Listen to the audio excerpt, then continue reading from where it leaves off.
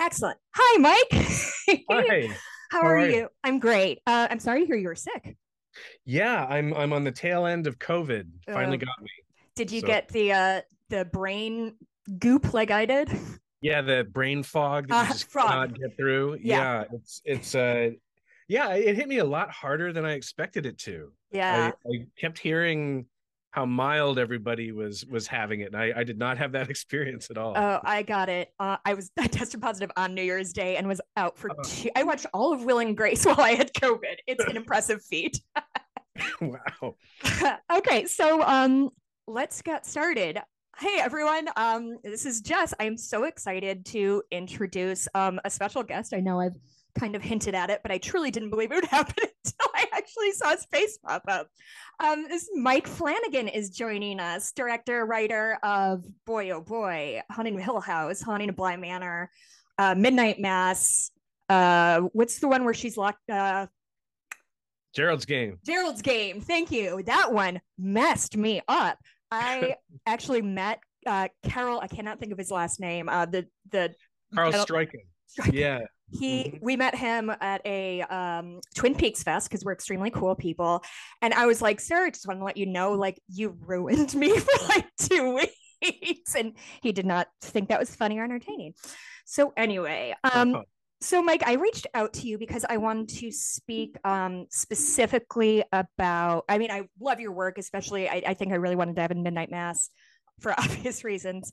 Um, but the thing that caught my interest was the fact that you uh, dig into sobriety and specifically AA, and you do that in a few of your things. And if I am speaking on turn, I could be wrong. Did Hill House come out before you were sober?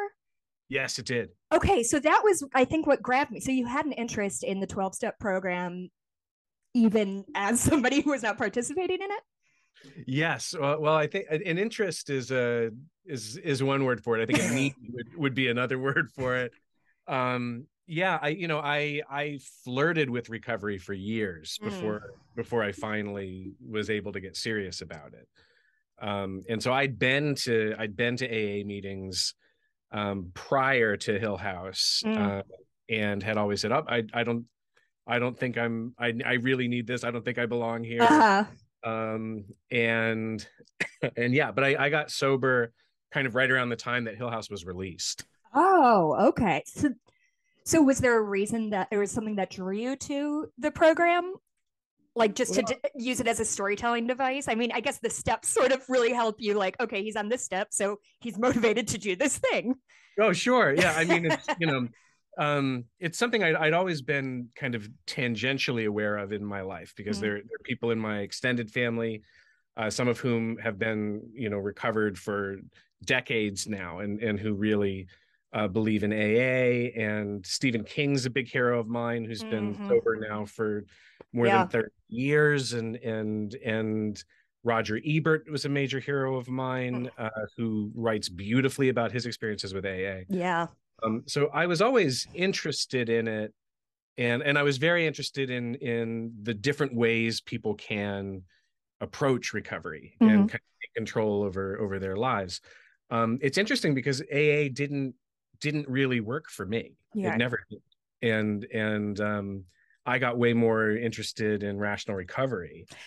And and that kind of you know spilled over into midnight mass quite a bit, which I think you you had mentioned. You, you Yes. yeah um but uh but yeah so it's it's something that's always been in my orbit and um i think i when i was younger i was you know I, I was i don't want to say like an aa tourist but i i would hit i would hit these these little bumps that weren't quite rock bottom for me Uh, and they it would be it would scare me enough to send me to a meeting though and Sure. and i would kind of take it in and i'd look around and there were things about it that bugged me and um, but then it was also about in a lot of ways for me it was like whatever works whatever you know works for for anyone in in in their given situation is Yeah. something that i want to support mhm. so it was it was always kind of back and forth but um i didn't realize how fascinated i was with it in my work Mm. until i got sober and kind of looked back and oh wow i've been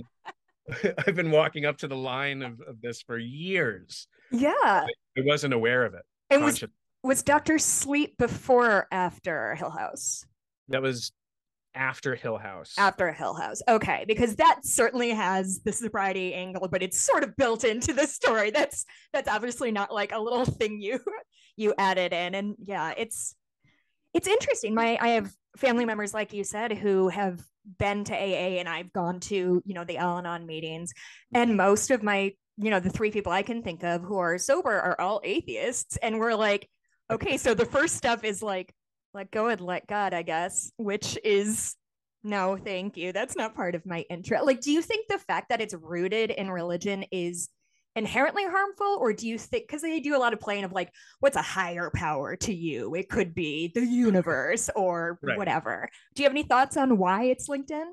You know, I I think my read of it, and and and I'm not an expert. Mm-hmm in the program my read of it was that christianity was was very much kind of interwoven into the fabric of the program mm-hmm. And and you're right that there was a lot because that was what i objected to that was where i that was the wall i always hit on the way in the door yeah was the higher power and and the the the the the striking similarities i found between my experience at a meeting and my experience at a catholic mass um mm-hmm. ritual the repetition mm-hmm. the prayer the kind of the proselytization the the confession aspect. Oh my god i never connected the confession aspect. Yeah oh that's good. uh, it, there, there were a lot of elements that kind of where i where i was looking for kind of guidance and and and comfort managing you know my alcoholism uh-huh. i was i was kind of pulled back into some of the less comfortable elements of my childhood with sure. and just kind of like oh man here we are again huh?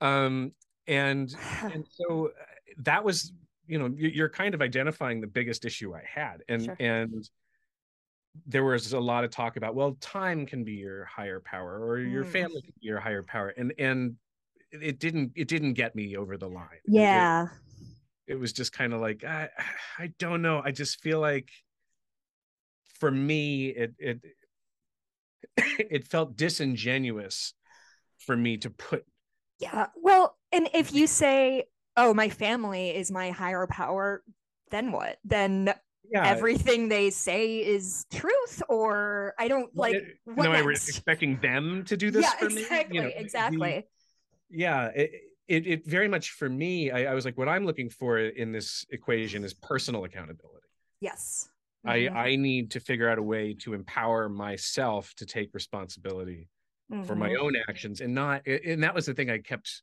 kind of kicking against was not give it give it to someone else or put it on something else yeah. just, no, I I did this. Yes. And and I am responsible for the daily decision to mm-hmm. change. Um and you know it's it yeah so so it it always felt like I was um, whenever I'd get to the the recitation and and and the prayers and everything else, I, I always I could tell that I was lying, mm-hmm. and I was like, I'm never gonna. I'm never going to be able to do this for real if I'm lying. Yeah. yeah. Someone else. I, you know, because if you can't be um, honest with yourself from the get-go then like what's the point of any of this yeah it, it's it's like if if the whole point of this is to really rip away mm-hmm. you know uh rip away these layers to get to kind of the truth of of myself and, yeah. and really affect legitimate and hopefully kind of permanent change in my life mm-hmm. i can't build that on a lie mm-hmm. um, no matter how well intentioned that lie might be i have caught myself lying to my therapist and then been like wait stop hold on this is what are we doing here? Yeah. Why am I making stuff up to tell you of all people? yeah, it's like you want them to you want them to look at you a certain way. Oh my god! And and and it's like, well, what that this is the definition of counterproductive now. A hundred percent. I just people please your way through therapy. So yeah, I truly yeah. when I I told the therapist about this, I'm like, I just really want him to like me, and she's like, just that's why why why though? Like why does it matter? uh, Oh, also, my friend wants to know if Kate wants to be our best friend. That was the first thing. like, literally, I was like, "Oh my god, I'm going to interview Mike Flanagan." She's like, "Ask if Kate will hang out with us. I think she'd like us." uh, I bet she would. I, I, I seriously bet she would. And she's out right now. She might be back before we're done. So if she is, I'll have her come in. I would love to say um, hi. She's so great. I guess you know that because you oh, are married to her and work with her. She's pretty good at what she does. the greatest person in the world, as far as I'm concerned. Yeah. Yeah. Um, and Kate too. You know, Kate's sober. Um, Kate's oh. uh, uh, got powerful ideas about the universe and and uh-huh. about you know science and religion and everything. I think you guys would actually get along very well. So yeah, you should definitely you should get Kate on there. Yes, yes, I should. Great, excellent. Uh, so, um, let's talk about uh, midnight mass and the Catholicism of it all. So, you grew up Catholic? Is that what you you mentioned? Okay. Yeah, I, I, was I was raised Catholic. I was an altar boy. Oh, over a decade. Um, so yeah, serving mass every Sunday, and and I did the whole the whole thing. Mm-hmm. Um, I was con- yeah confirmed, all all all good to go um, until I, uh, I, I got to college. I was just gonna say you went to college, didn't you? yep, I, I, I I find myself in in a in a public university uh-huh. uh, for college, and it took about a semester for me to kind of go, oh shit, um, and and I took a uh, well, I one of the things that occurred to me was that um, I would get into conversations with friends because um, I was meeting people from different backgrounds for the first time mm-hmm. in my adult life. I, I, went to Catholic grade school. I went to Catholic high school. Oh, okay. You were deep into yeah, it. You weren't it, just like, like, every Sunday. This is. Oh yeah, every day. Uh-huh. You know, every day. Ugh. I mean, we had we had confession as part of our curriculum. No. In high school. Ew. Yeah. Were you honest? Yeah. No. Yeah. No no way. No and, and, that was some of the stuff that that first kind of when I, when I started to kind of look around and realize how kind of fucked up everything was starting to feel was uh-huh. when it was like this line of teenage boys going into confession and it was just like we're not we're not really talking about it. We're not talking we're not talking about everything. like you're all in agreement? Like we're all gonna yeah, be cool like about this? Yeah it's like we're not we're not gonna say everything yeah right? um and and so it was uh yeah i I um I got to this point where I was I got into an argument with uh with a kid that I'd met in, in school. Um and it was like a drunken like party argument, philosophical argument. Sure, you know, I was on the I was on the alcohol and and they were getting high and we were uh. talking about life. And um and they kind of challenged me about the Bible. Mm.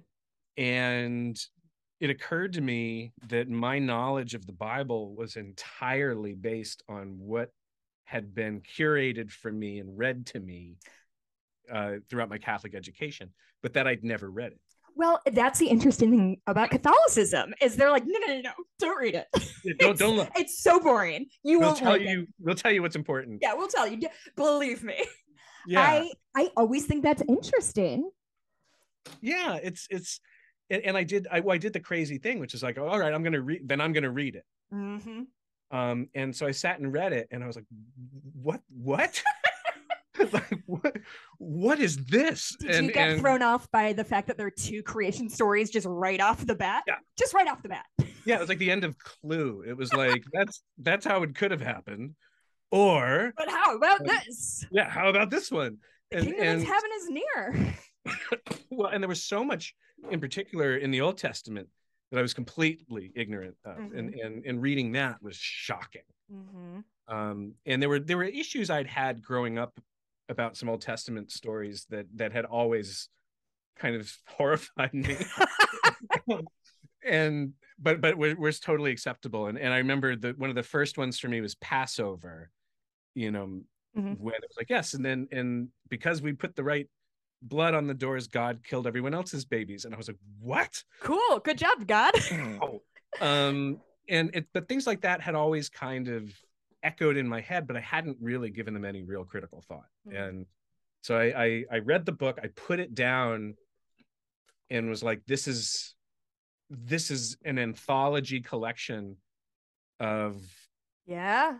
Iron age philosophy hmm from you know what i what i feel like is hundreds of individual writers Yes. none of whom are, are coordinating Yes, I agree with those And- those thoughts. like it's, it's a mess and that radically destabilized me Mm. um, And so Destabilized you is an interesting word to use. Did you did you feel like you were relying a lot on your faith?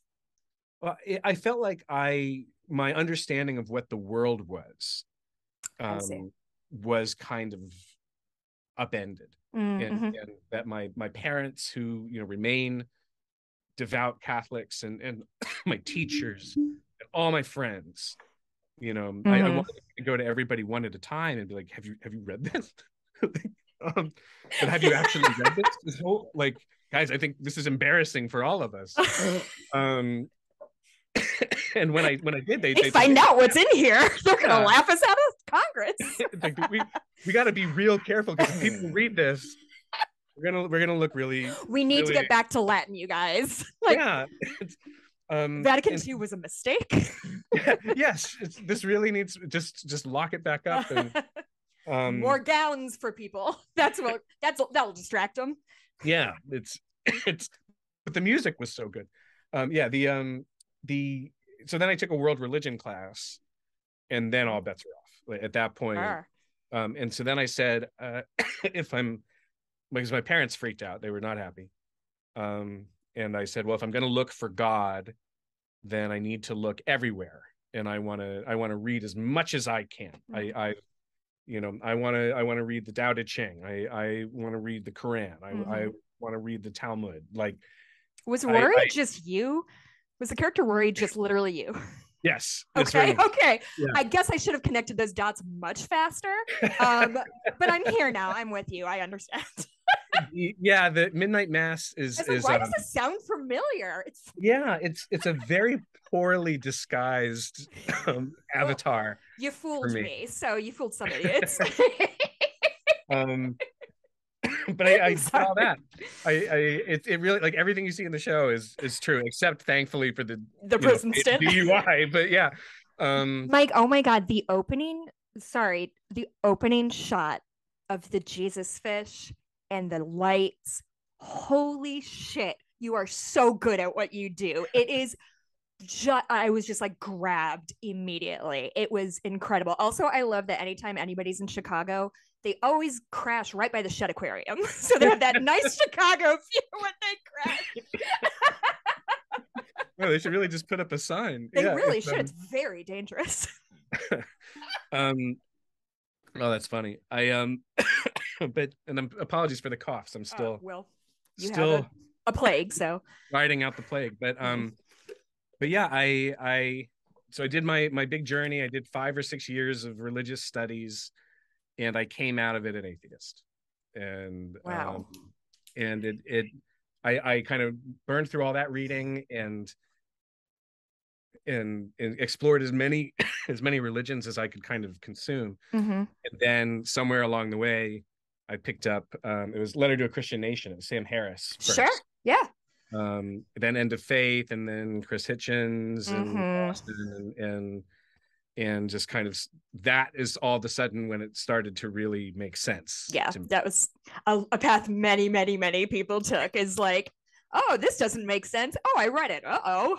like, has everybody Yeah. else read this? i know it was yeah come on guys we gotta we gotta talk about it It But, um, really is is baffling that it's like with a straight face. You're like, every word, yeah, every single one, all of the words are true and derived from God. Okay, it's a bad book then. like he's a bad author. well and and like especially you know especially the the old testament god because he changes so radically Mm, Sometimes he's vengeful, sometimes Yeah. he's loving.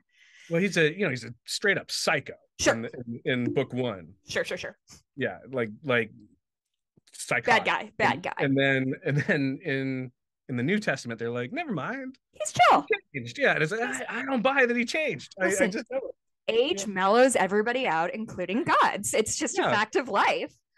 Um, I actually just quickly want to get back to the fact that you said I still love religious music so much. I was a choir kid growing up, and near my God to me, I was like, hell yeah, I love this shit. Like, I love choir music so much. and the few times it popped up, I was like, yeah, Mike gets it. Oh, choir music. it's gorgeous. Oh and, and my God. That's the that's the thing I, I've you know, there there are elements I think in any religious ritual mm-hmm. that are beautiful. Sure. And and and and that's part of I think what lends it its majesty and and where it can it can hold people's hearts, you know, mm-hmm. and, and I have a a profound nostalgia for a lot of that. And mm-hmm. so the, when we were doing the music for Midnight Mass, um, I actually got to sing on on the tracks because I really? was too, yeah. Um, and so I went in and got to record. You know, I I got to sing on "Nearer My God to Thee. and, um, there's something, and there were other people on the crew and even among our composers who had been raised Catholic and were no longer religious. Um, but we all knew all the words. Uh-huh. and then it, it, was, you know, this little moment of connection of like, oh yeah, you too. Yeah. Yeah. Okay. yeah. Oh boy. Well, been yeah. there. Um, Such a sucker for it. It's because yeah. it's like so emotionally manipulative, and it's like, yeah, I'll take this journey with you, music. no, it's it's gorgeous, and I still, you know, it it was tough not to lean into it. you know, I I had wanted, I had this big thing for for the show where I didn't want any music that wasn't um, Catholic hymns. Sure. And to let it be kind of neutral. Mm. Um, but they don't play that way. They, they don't play neutral at all. and um, I had wanted for Erin's big monologue at the end, mm-hmm. which is it's about a four minute monologue about you know a, a very, I think, non-Catholic explanation for what what happens. So what happens when you die? Yeah. Um, I wanted that to be silent. I wanted just the sounds of mm. birds and the fire and the wind and the sunrise and just just the sounds of nature. Mm-hmm. Um, but the problem was my composers um, put an instrumental version of "Were You There" under it, what's and that? it's it's oh that's what, what's in that. Yeah, yeah. yeah. And um, and it had me just sobbing and and I, I emailed them afterwards and I was like, "Fuck you guys!" Like I want, I really didn't want to underscore that moment with this kind of traditional ode to Catholicism, but it mm. It was so beautiful, so we ended up leaving it. Oh, um, funny.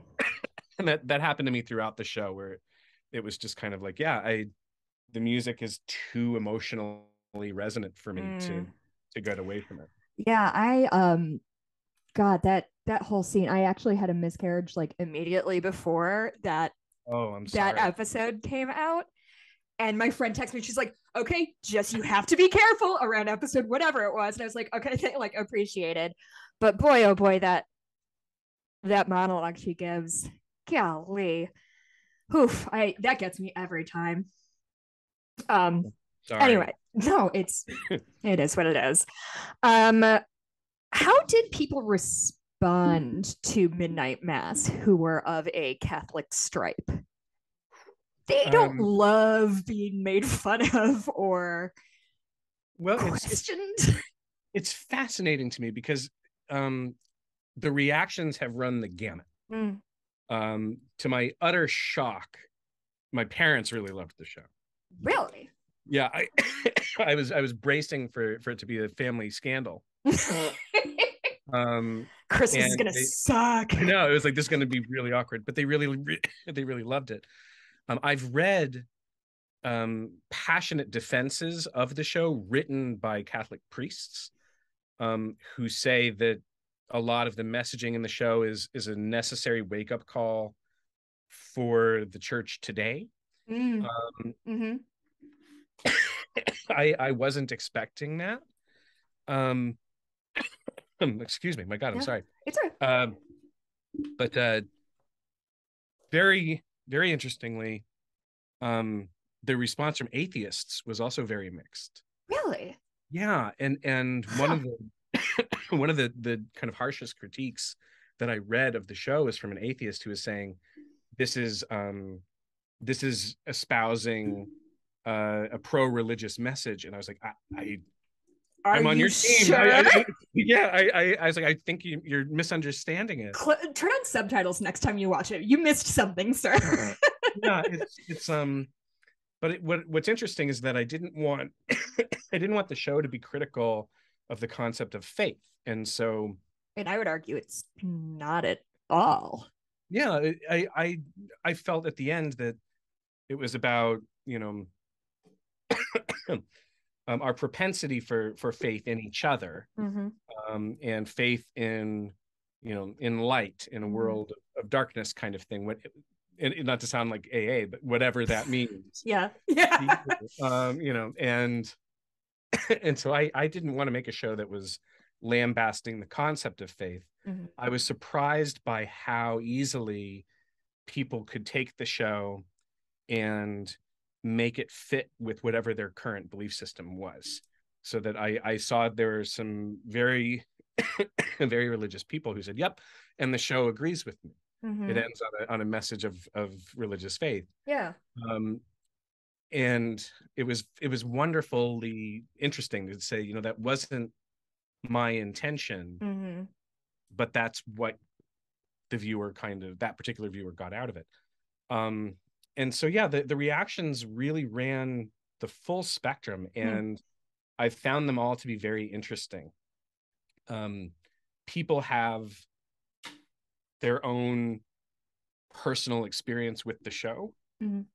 and i think i'd always thought that they'd have one similar to the one i had working on it and writing it mm-hmm. um, but mm-hmm. that isn't true yeah and i think that's kind of awesome too so yeah well, there's an element as an artist of you can make your thing and you can put it out into the world and then it's the world's. Like the world gets to consume it however it however it wants to. Um which i think has to be the hardest part about being an artist of like you want to go back like no no no you got it wrong you got it wrong. But like yeah. you know it's all valid. You know analyzing a piece of art is all valid. I saw it as not anti-faith at all especially when you looked at like the way uh the sheriff and his son ended like I don't know how you could look at that and be like, yeah, boo face, Like that's terrible. I did love Bev trying to dig into the sand that golly, what a character Bev was. What an all-timer. Yeah, Bev when when I started kind of dreaming of Bev, uh-huh. um, when I started working on the script for this, which is like more than a decade ago, oh, I I worried at a time that Bev would ring untrue. And now i'm like oh my god no i mean we've got we've got bevs in congress. Yeah.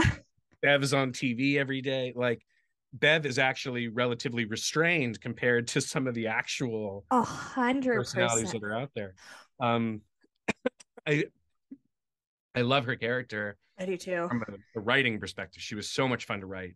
Mm. she really you know most of my opinions about organized religion are contained in in her. Mm-hmm. um but uh you know people I, I remember having to talk to netflix and they'd say you know well we have to build up to the real monster of the story meaning the, the yeah. winged vampire. And i was like no the real monster is bev um you know that that can't be reassuring that netflix can't even identify the villain of a story. Oh they well they in in their you know in in what what defense I will give them on that. We kind of you know they were expecting a show about vampires. And sure. so they sure.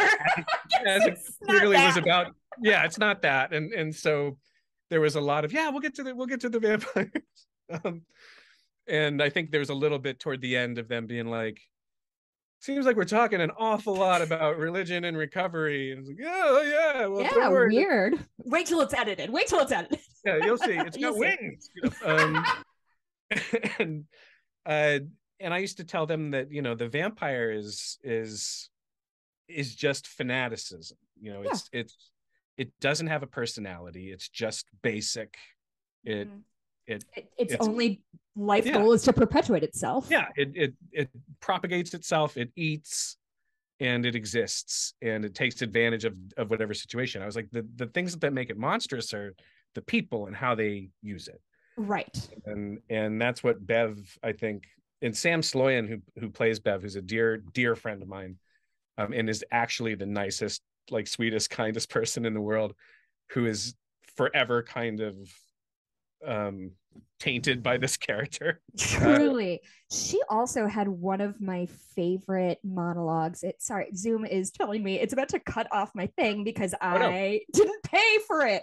Hold on, Zoom. I'll get you your money, bastard. Subscription. You have Subscription. to pay like by the minute for Zoom. Well, it gave me, I think, a half hour for free. and now it's like pay the piper. Oh, geez, I'm sorry. It's not your fault. I can pay the twelve dollars. Not to brag. Um, this is gonna be personal use. Conti- I'm so sorry. How professional is this? No, that's okay. I'm I'm coughing all over your podcast. I feel terrible about that. This step. Accept. Just give me. Okay. Cool. Okay. Um. Actually, while I'm doing this, did you know uh, the Music Box in Chicago? They're having a double feature of um, The Shining and Doctor Sleep. I did know that. Um, they actually asked me if I could go. You should. We're going. I really, I really wanted to, uh, but between between the COVID and um, I've got sure, to, sure. uh, I've got to, I've just lost two weeks of work on House of Usher, so I have to go. Oh back shit. Yeah. Yeah.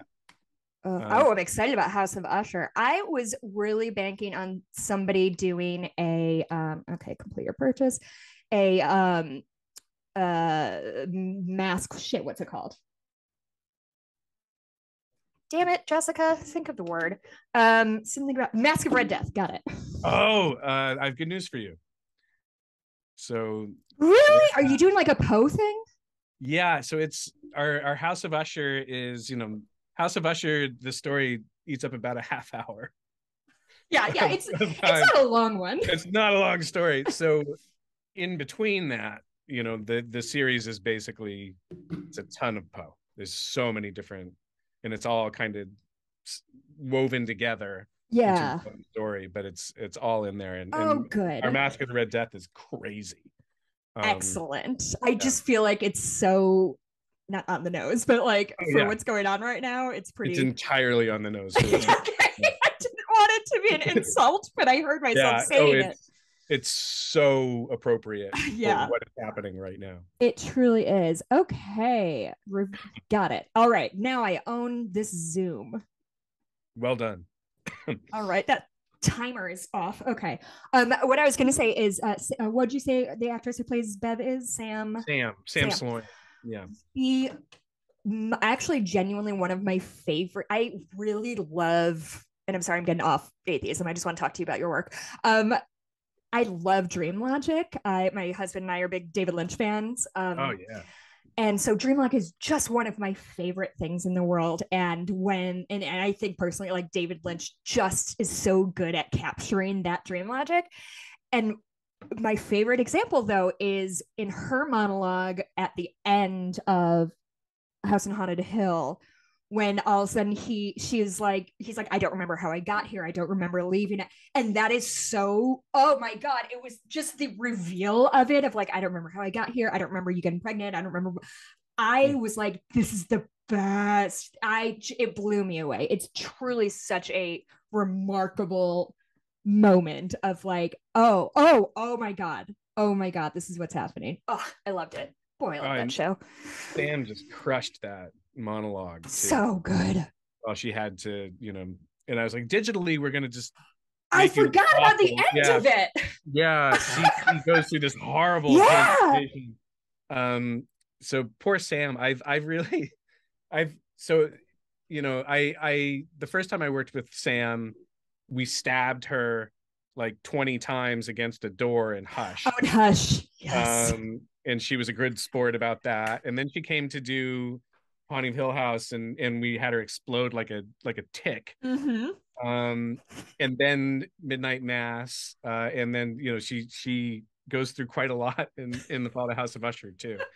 But um oh poor lady. Yeah she's she's so great. And um she really she embodies for me so much of kind of the most toxic Mm. religious you know um attitude i think and and the contempt with Yeah. which she kind of holds everyone else and and um Sam, I remember when we were going through it and kind of prepping the character, she'd be like, "You have to tell me if I've gone too far, or it starts to feel maniacal." And I was Uh-huh. like, "I, I swear to God, I think there are states in this in this country you'd be easily elected, Mhm. just the way you're playing Mhm. her." I, I really think that's the way it is. But, I um, would love a prequel about her because the other aspect that's only kind of hinted at and sort of like brushed off is the sort of like she's the reason that we're broke. She grabbed this money and built this rec center when all of a sudden everybody noticed. Like, I love to hear about a petty tyrant, somebody who just like grabs onto the tiniest bit of control and goes ape shit with it.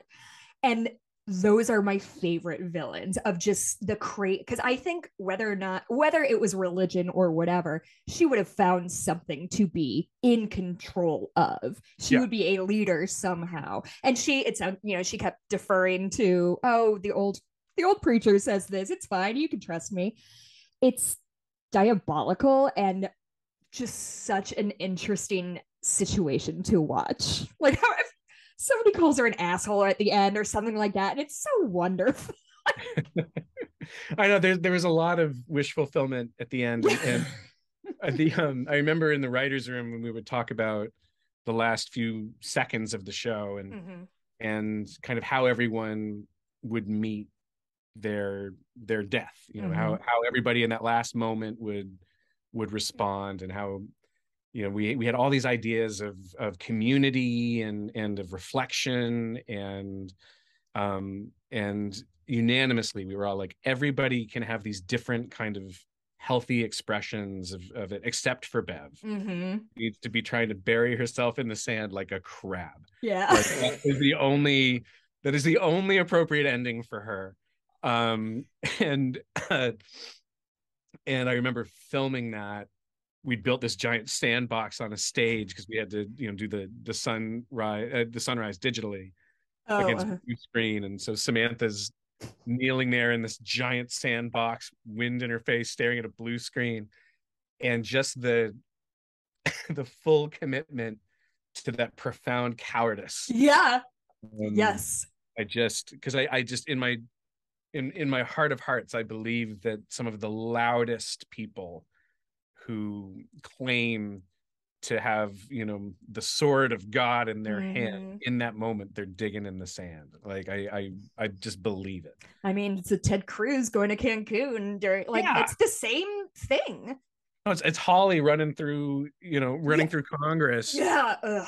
on. January 6th it looks like the catch me if you can poster Like, Just It's- sprinting. yeah just he's a blur um yeah that you know I, I i find that the there's a there is this correlation between how aggressively loud people Mhm. can be especially hateful people Mhm.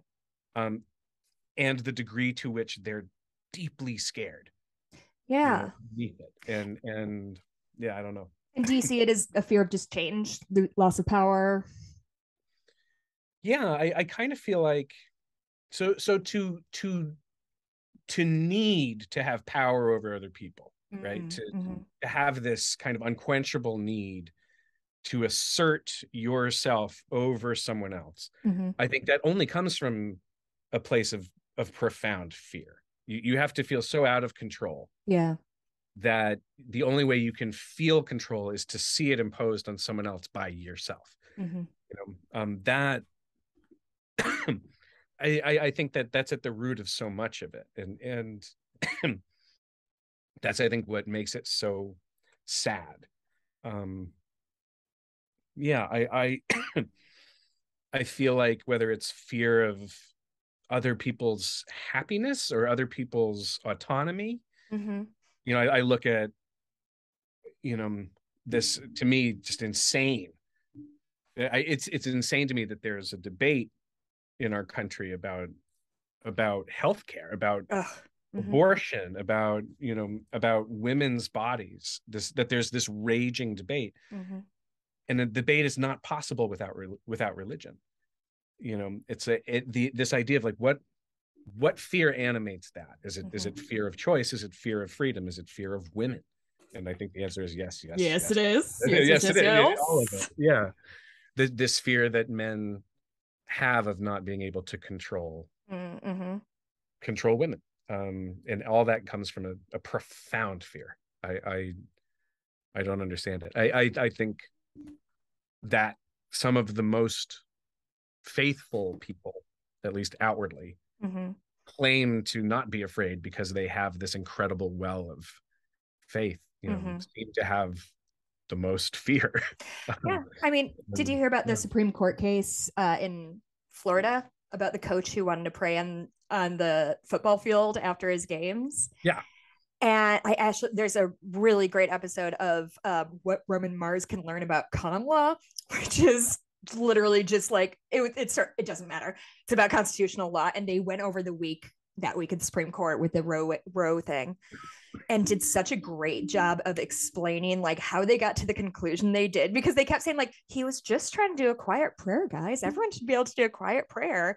yeah. And I think it was Sotomayor wrote the dissent and was like, she added a picture into the dissent, which has never happened. She's like, this is not that. This is not what you are pretending it is. He was drawing attention to, to himself. This is not quiet. Sorry, I didn't mean to start yet. Like no, he no, no. it just this willful naivete of the Supreme Court to like pretend they're calling in balls and strikes, but obviously are just doing whatever the fuck they want to do. yeah no it's it's it's it's shocking it, it, it would be shocking if it if you hadn't watched it happen in right. painful slow motion over the last 20 years but um but yeah it's and it, it it reminds me very much you know one of the scenes that that we had to fight for very hard on on midnight mass was the um uh was the school scene where everybody all the adults sit in the classroom to talk about You had to fight for that? yeah it's it's like a seven minute scene Oh, just in terms And- of yeah gotcha. just, just in terms of of the the degree to which Sure. we were no longer talking about vampires and and really getting into you know the vampires are a metaphor, guys. Come Yeah, on. well we didn't really want the metaphor so much as The we vampires thought the we vampire made show along the have been pretty way. cool. yeah it's um but that's something that that drives me crazy is are, are the the the double triple and quintuple standards that come with Mhm. that where you know i cannot imagine the same people who are trumpeting this case and saying yes of course you know this christian prayer Mhm. needs to be publicly protected Right. um, if it had been any other religion, you know, all of that, uh, the, the straw argument completely collapses. Absolutely. Or when they were uh when Amy Coney Barrett was going through her hearings and everyone's like, um, everybody hates her because she's Catholic. And it's like, No, are you sure? yeah. Have you checked out the Supreme Court lately? Because I don't think that's what's going on. I think Yeah, the fact that she's like 16 years old is troubling, but what do I know? Well, and that she's that she's radical, you know, that so that- radical. because you know it's like and a liar. like a, yeah, a it's like complete John liar. Kennedy was Catholic, you know, like that.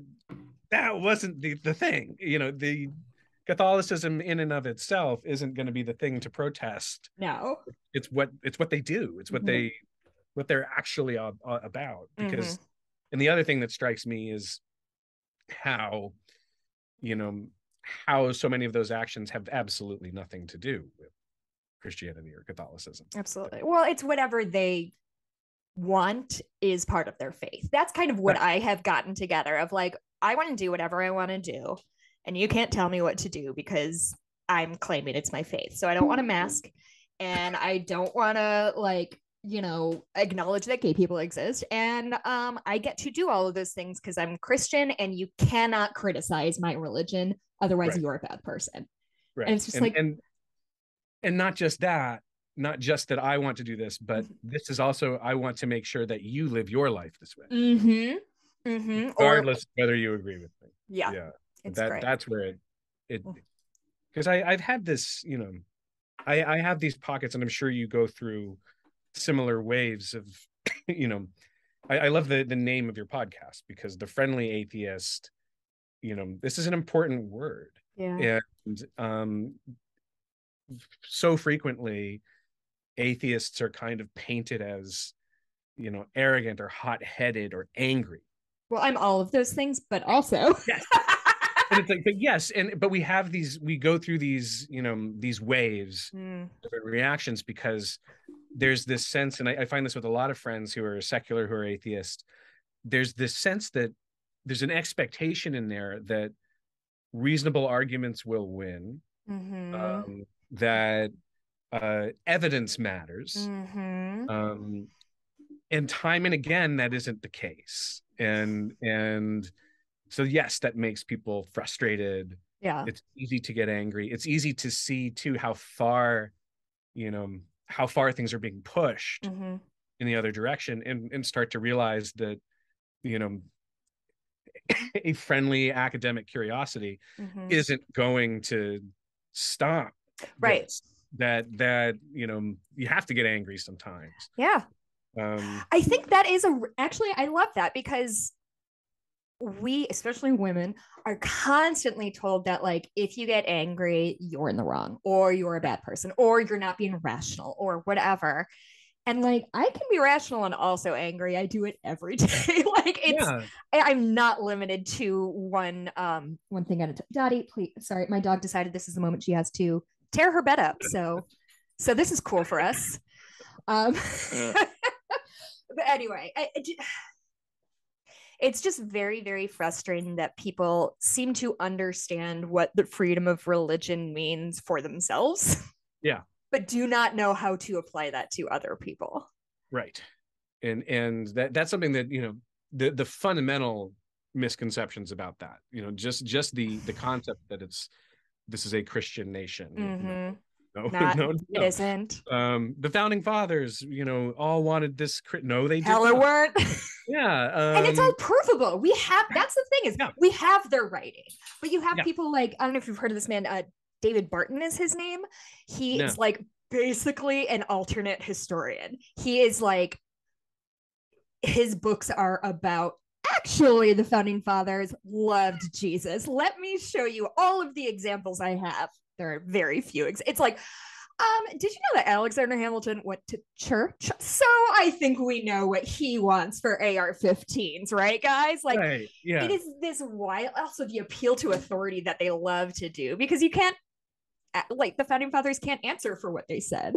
right and- but but then when you point out that they wrote you know that they wrote everything down very explicitly And specifically wanted to have amendments. yeah Like- then it and and left room to say we don't know how this is going to go Mhm. and we need to understand that people are fallible and we Yeah. need to leave room for improvement as Well, I- situations change yeah it it's it's crazy I think there's Um, also like a recency bias that comes to play a lot. That for a long, like for example, we were adding states left and right up until the 20th century, and now people are like statehood for Puerto Rico, statehood for Washington D.C., and everyone's like, we don't add states to this country. Like we absolutely historically Yeah. do.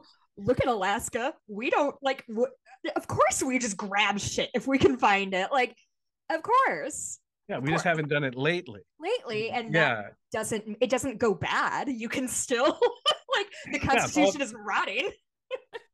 No it's um it's it's i remember you know god there was a documentary years ago called uh, called jesus camp. Yes. Um, holy shit. terrifying right? But- terrifying. and i think that must have been what 15 years ago or something like that And something like that. I remember watching it and them talking about the political mobilization um god's army. Mm-hmm. We stole completely for midnight mass. Mm-hmm. Um and i remember at the time feeling like the the ideas that they're talking about are way out there. They're deep in the future. There's a long way to go and there's a series of checks and balances between where we are mm-hmm. and no it's you know now now we're there. Hmm. And and then even down to roe you know to how many friends when it was about i think back to the luxury of being able to argue about you know uh bernie and hillary. Mm. um and, those were the days. Yeah right? You know when, when like that was the problem. And but the the the luxurious arguments that people would have where it'd be like well what about you know the supreme court and what about roe? And it's like no no no no no that's never going to happen there are supports and protections in place and no there aren't it, it, it all you know it, it's amazing. Yeah. I had a blow up fight with a family member who will re- remain nameless, who is one of the richest people I know, and yelled. This is probably 2017. Yelled at me about you're wasting your time worrying about Roe. They're not gonna. It's settled law. You're making yourself crazy. Yeah. You can't do anything about it. You're being like hysterical about this. Calm yeah. down. And truly, the day it it was overturned, I almost called her. I almost called her and be like, "You could, you, fuck yeah. you, genuinely, yeah. absolutely fuck you. I'm holding you personally responsible for this right now because I need to be mad at somebody, and it's you. Congratulations." I. Yeah. It was hard to kind of see it coming. But kind of what you said with the Jesus camp thing, I want to get back to that because that I think is why the left is going to be floundering for a long time. Because say what you will about the conservatives, they are an organized machine organized. and patient. And pa- yes. Oh, what a yes. Yeah. Patient. yes, yes, yes. His patience and faith are almost the same thing and um holy shit the the left you know and and and this is true i think of, of a lot of secularists it's harder to be patient because faith isn't a luxury that we can lean on you mm-hmm. know it's it's about immediacy and it's about it's about what's right in front of us right now and reacting to the facts on the ground mm-hmm. the the problem i think that's happening is that we've gotten into a society where facts don't matter anymore and and more than any other time maybe since the dark ages what matters is what we believe mm-hmm. and that we th- these little tribes these little bubbles on facebook that pop up where sure. Like beliefs just come mm-hmm. together and can look a fact in the face and say no Mm-mm. doesn't matter um, I it doesn't feel right to me. Yeah. It, it's about what I feel. Mm-hmm. In my mm-hmm. heart, I know this. I know mm-hmm. vaccines are bad. Mm-hmm. I know mm-hmm. the earth is flat. Mm-hmm. You know, I know Donald Trump won the election. You know, all these things. Um, and the facts no longer are relevant. So we are in a struggle of conviction of belief. And it's impossible for, I think, for atheists, for secularists, for people who are are are relying on fact mm-hmm. and reason, we're not going to win a battle of belief. We don't have the practice. No. We don't have the faith. No. You know? well, we don't have a single thing that we're fighting for. Right. Yeah. And and and the beauty of a catch-all that mm. You know that a that a religious faith can can provide because you can change the goals mm. left and right within the mm-hmm. umbrella of the faith and you can walk people further and further and further toward you know all sorts of different causes um which is something else that was really fun to play with in the show is mm-hmm. you know how how you look at jonestown you look at at belief systems that become toxic mm. I was actually watching. Sorry to interrupt. I was watching a uh, documentary about um, the Heaven's Gate. Yeah, I saw that. Uh, and I and yeah. I truly was like, ooh, this feels like Midnight Massy a little bit of like you just keep getting like inching and inching and inching. All of a sudden you're drinking arsenic in your church. Yeah. And it's it's incremental. Mm-hmm. It's it's not that you start people don't dive in face 1st mm-hmm. into Heaven's Gate or Jonestown in the eleventh hour. Right you know they they have to be led mm-hmm. to that point and and that's why i find documentaries like that fascinating especially when they're interviewing survivors mm-hmm. who look back and are like yeah i can't explain to you how rational this felt and and, and again you come back to what does it feel like mm-hmm. right? you know and and the thing is the feelings can be completely kind of fabricated around people by the community. Oh, you can artificially give somebody a feel like that's what mega churches are. Yeah. Is you're just all like whipping yourselves up into this like religious fervor. It's just everybody's being manipulated and you feel so good afterwards. You're like, cool, God rules. And and if you feel good, then it must be good. Mm-hmm. right so yeah, it, yeah it's it's it, it makes me very nervous for my kids because it puts me in a place where i have to kind of admit to them that you know the data doesn't matter as mm. much as it, as it should the facts don't matter because you're always going to be up against someone who a system or even an individual who may have a much deeper well of belief mm-hmm. um, than you do mm-hmm. if your belief is hinged on observable fact um, the it's, fact it's, that yeah. yeah. well the fact that you and i presume we're willing to change our mind given the appropriate yeah, yeah i'm absolutely willing to change my mind and for me that's a one of my favorite things about myself is i'm so, very good at admitting when i'm wrong and i'm wrong so much um and the idea of never being able to admit which is like a toxic masculinity thing as well of just like if i said it i'm going to die on that hill like it does i will not ever backtrack i will not say i said something wrong it, it's i will either just deny it that it ever happened or I will die on that hill because I guess that's my brand now. yeah, or you are now my enemy. Yes. Because you pointed out that I was wrong. Mm, we yeah. are now we and are you're now, the bad guy for doing yeah. that for me. Um that it's it you're completely right. And and it's um it's hard to imagine how it's hard to imagine what a successful political or social movement looks like mm-hmm. that can combat that and i think mm-hmm. that's that's what's so kind of frightening about yeah. today um, well i i think kind of the flip side when you talked about um how uh atheists are go oh shit i think i just had brain fog and completely lost what i was going to say god damn it covid it's one it's, of these days one of these days i can just feel it leaving my brain and it's like all right whatever i'll see you next time i guess um so, boop, boop, boop. What else? I'm just looking at my notes. No, sure. um, boy, okay. I don't want to keep. Did we have a hard out? I don't want to uh to keep got... you any longer than than needed. I have. I've got another couple minutes, but I should get going pretty soon. Okay. So, yeah. Okay, great. Um, so you have something new coming out soon? I do. I have I have a show. You gonna do some promo stuff with me? Yeah, sure. Yeah, this is like the first promo stuff I've done for this show ever. Oh, okay. Let's let's get your like yeah. your spiel in order. My spiel. I yeah. know. So this is my rough, unpracticed okay. spiel. It's all right. Um, Only twelve people listen to this. Don't worry. Hello, all of you. Yeah, um, we know them all by name. No, um, so I have a show called The Midnight Club. It comes out in October. Um, it's unrelated to Midnight Mass.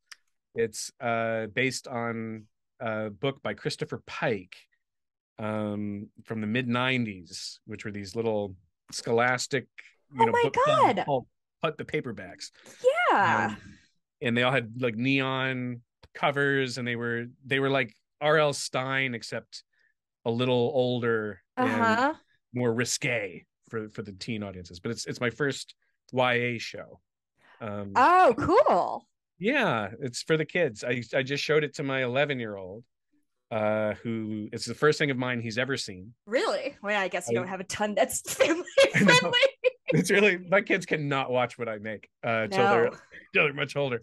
But uh, but I let him watch this one, and he he uh, he really liked it, and I'm hoping that that means it'll be a hit with the with the teens. But I think for people coming off of Midnight Mass. Mm-hmm this is going to be like whiplash. A total shift. oh my god, it's it's just popcorn and uh-huh.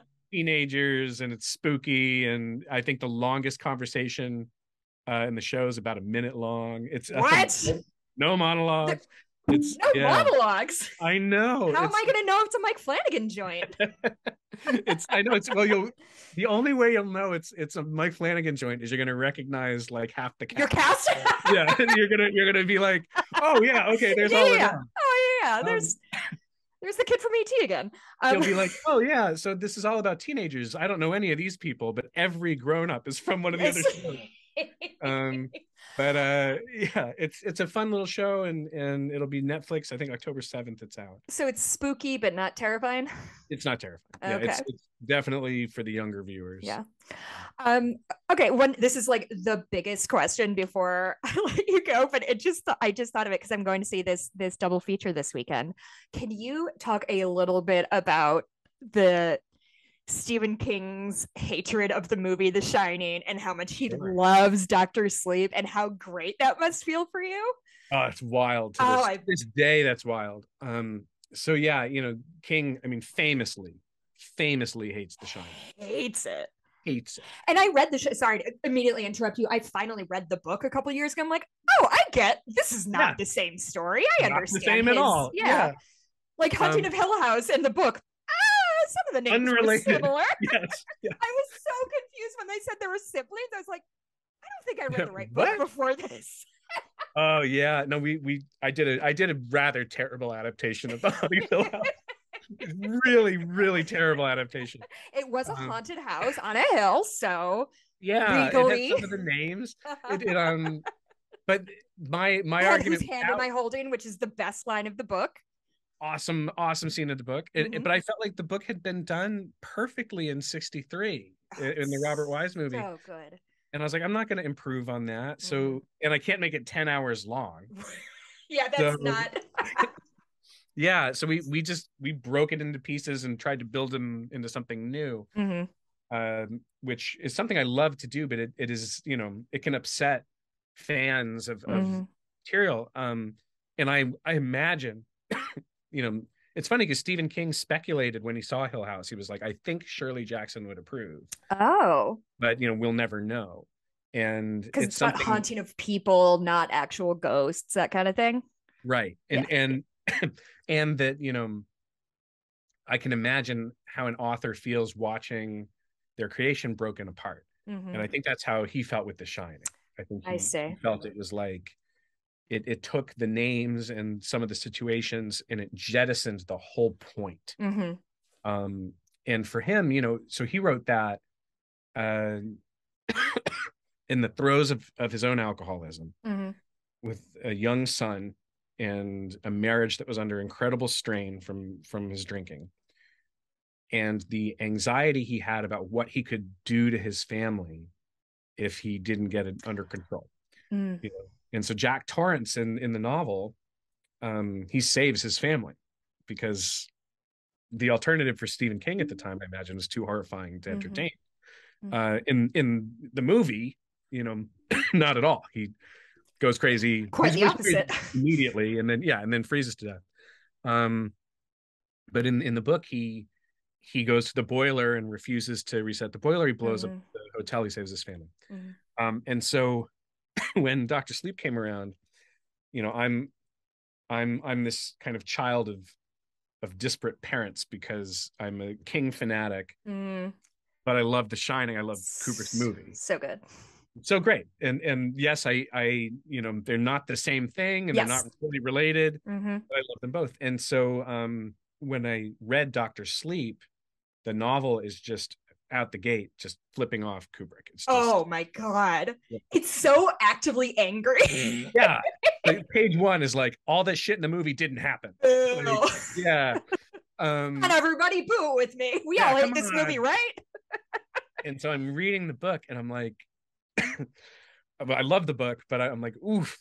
Um, the crazy thing is, as a fan of the movie who grew up with the movie. Mm all the visuals that I had in my imagination reading the book were from the movie. Of course, yes. And so I had this like horribly schizophrenic experience where it was like I'm reading this new story that's Stephen King, but everything I picture is Kubrick, mm-hmm. and they're fighting. Mm-hmm. they're they're they don't work. Mm-hmm. And so um, when I got the job, my whole pitch was to do as faithful as possible an adaptation of Doctor Sleep but in the cinematic universe of Kubrick, and specifically to take the ending and stage it in the hotel. Um, and I wouldn't do the movie unless King said yes. Oh.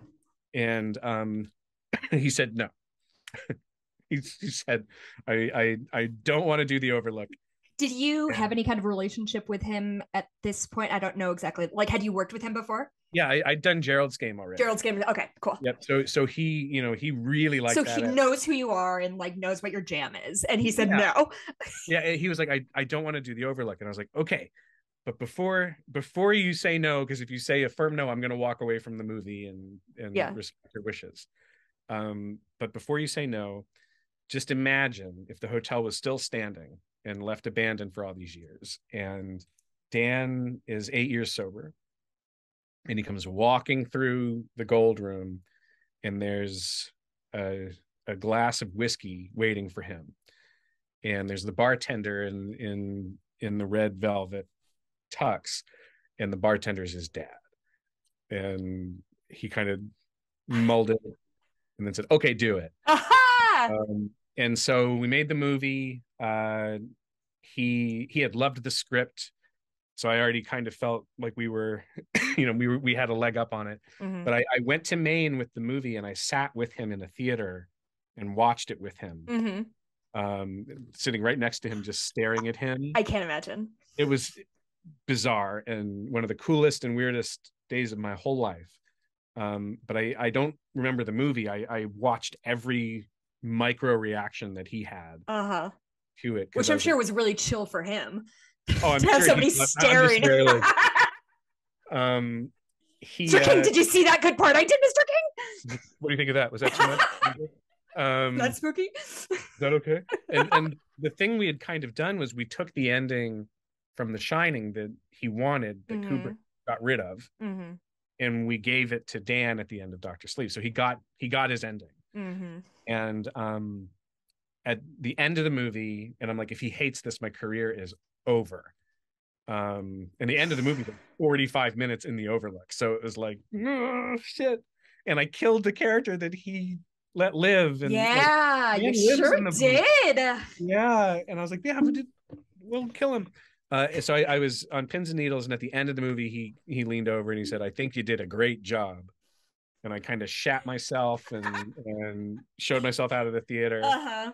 and um Oh boy. and it was awesome and he over the years since then and i've seen other interviews where he's said this um he My said husband just sent me an article that's like Stephen King's still really fucking into Doctor Sleep. yeah and he but he he a few times has said that dr sleep changed the way he felt about the shining movie and that it warmed it up for him a little um and i don't think he'll ever like it right. But a lot of the anger that i used to hear in Mm. the interviews about the shining is softened now I wonder if he can appreciate it as its own separate piece. Like, can he separate himself from it? Like this, eh, I'm going to watch this not thinking this is my book that is being adapted.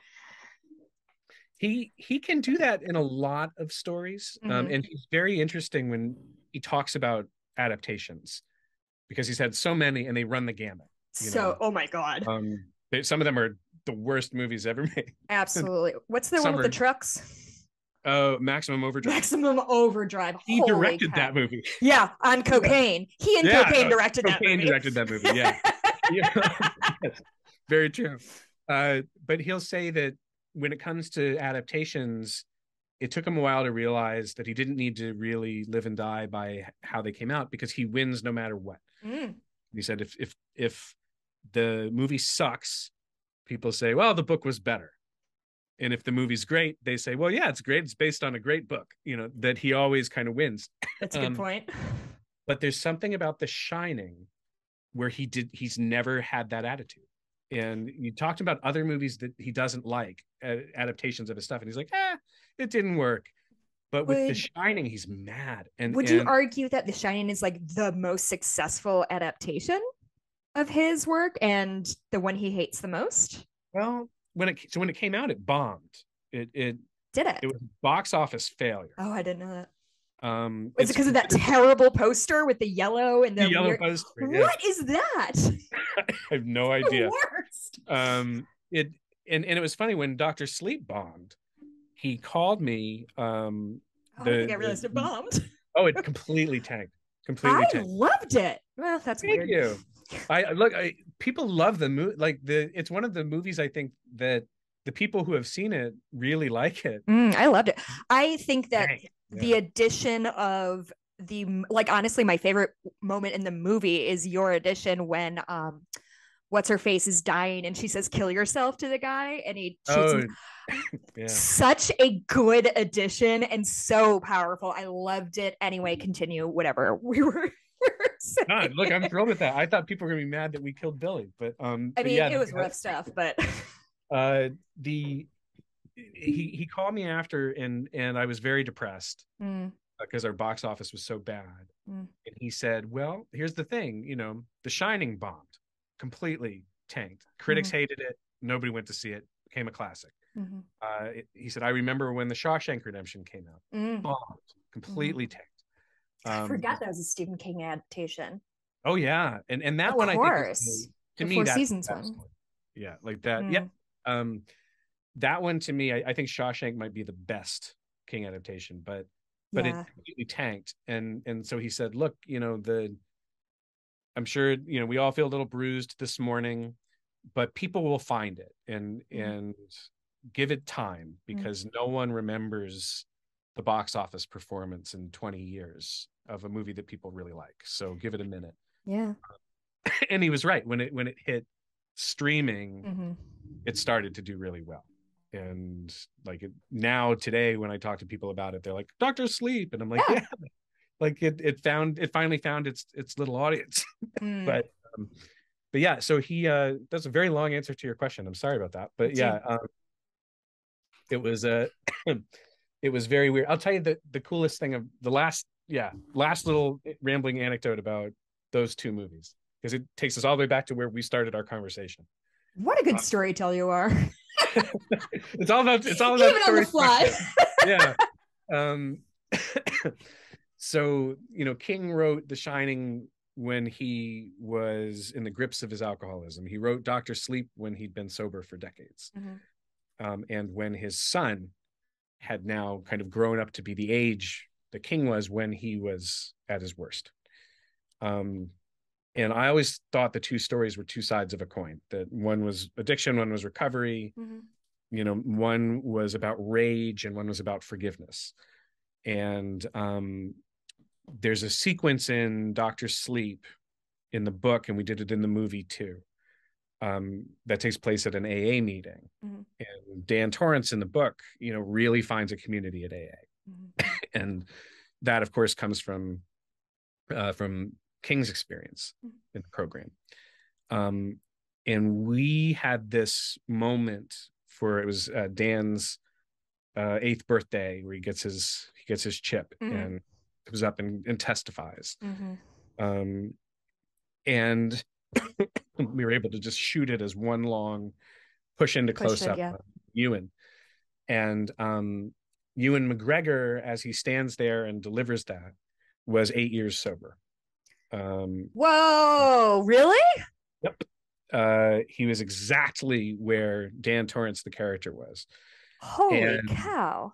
Um, Rebecca Ferguson, who plays Rose the Hat, Mhm. uh, I think was four years sober while we filmed. Um, several cast members had been sober for years, AA and NA. Wow. And uh, we're going to meetings in Atlanta where we were filming Mhm. um, and taking each other to meetings. And um, Wow. so some of the the coolest conversations I had about sobriety and about the program and everything else were with Ewan McGregor and Rebecca Ferguson and Stephen King. Um, and making Doctor Sleep was when I decided to get sober. Um, and while I didn't connect as much with AA as Dan Torrance, you know, or as some of my cast and and Stephen King as well. Um, there was something to the community of it and to the supportive spirit of it Mhm. that I thought was pretty beautiful. Mhm. Um, I'll always think that. yeah.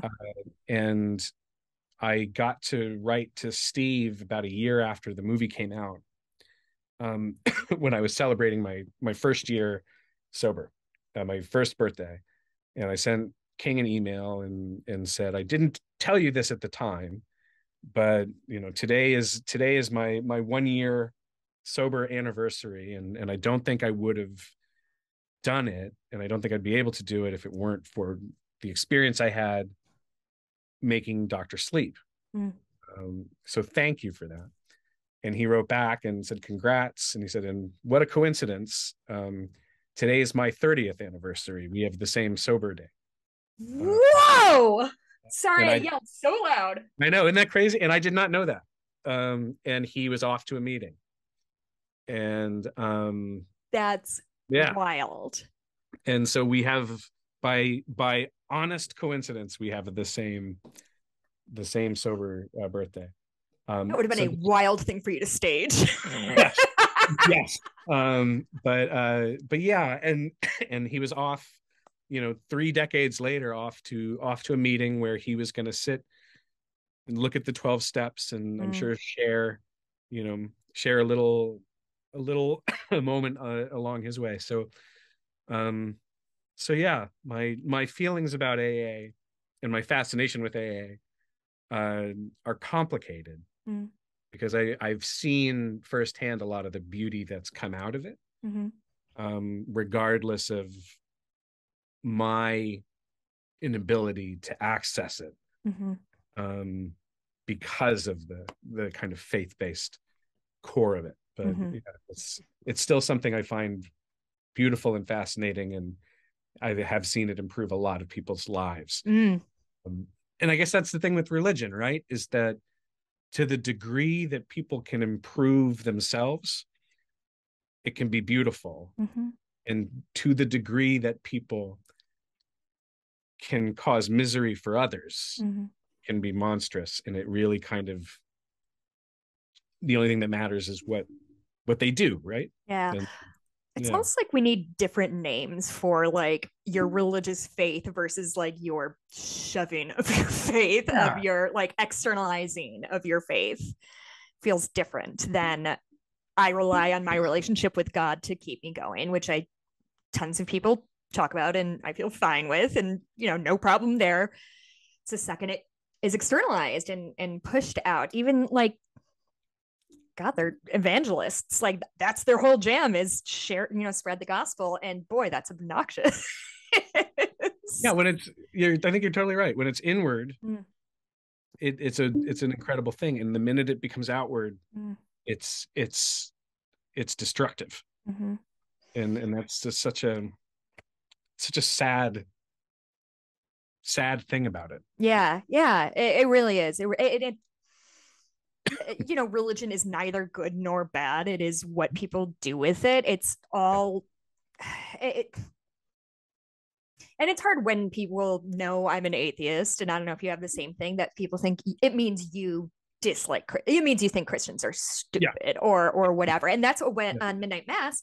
Um, Erin's character is devoutly Catholic. Erin. Yeah, yeah. Erin. Okay, Erin's the yes. Kate is the actress. Erin's person. Okay. Um, and that was something I clocked immediately. Like, I don't think I knew much about like your background, but like, okay, so this guy's an atheist, but she's Catholic and she's not, she's being treated with respect and dignity and, and valued and not like dismissed by our atheist character. Like, I don't know.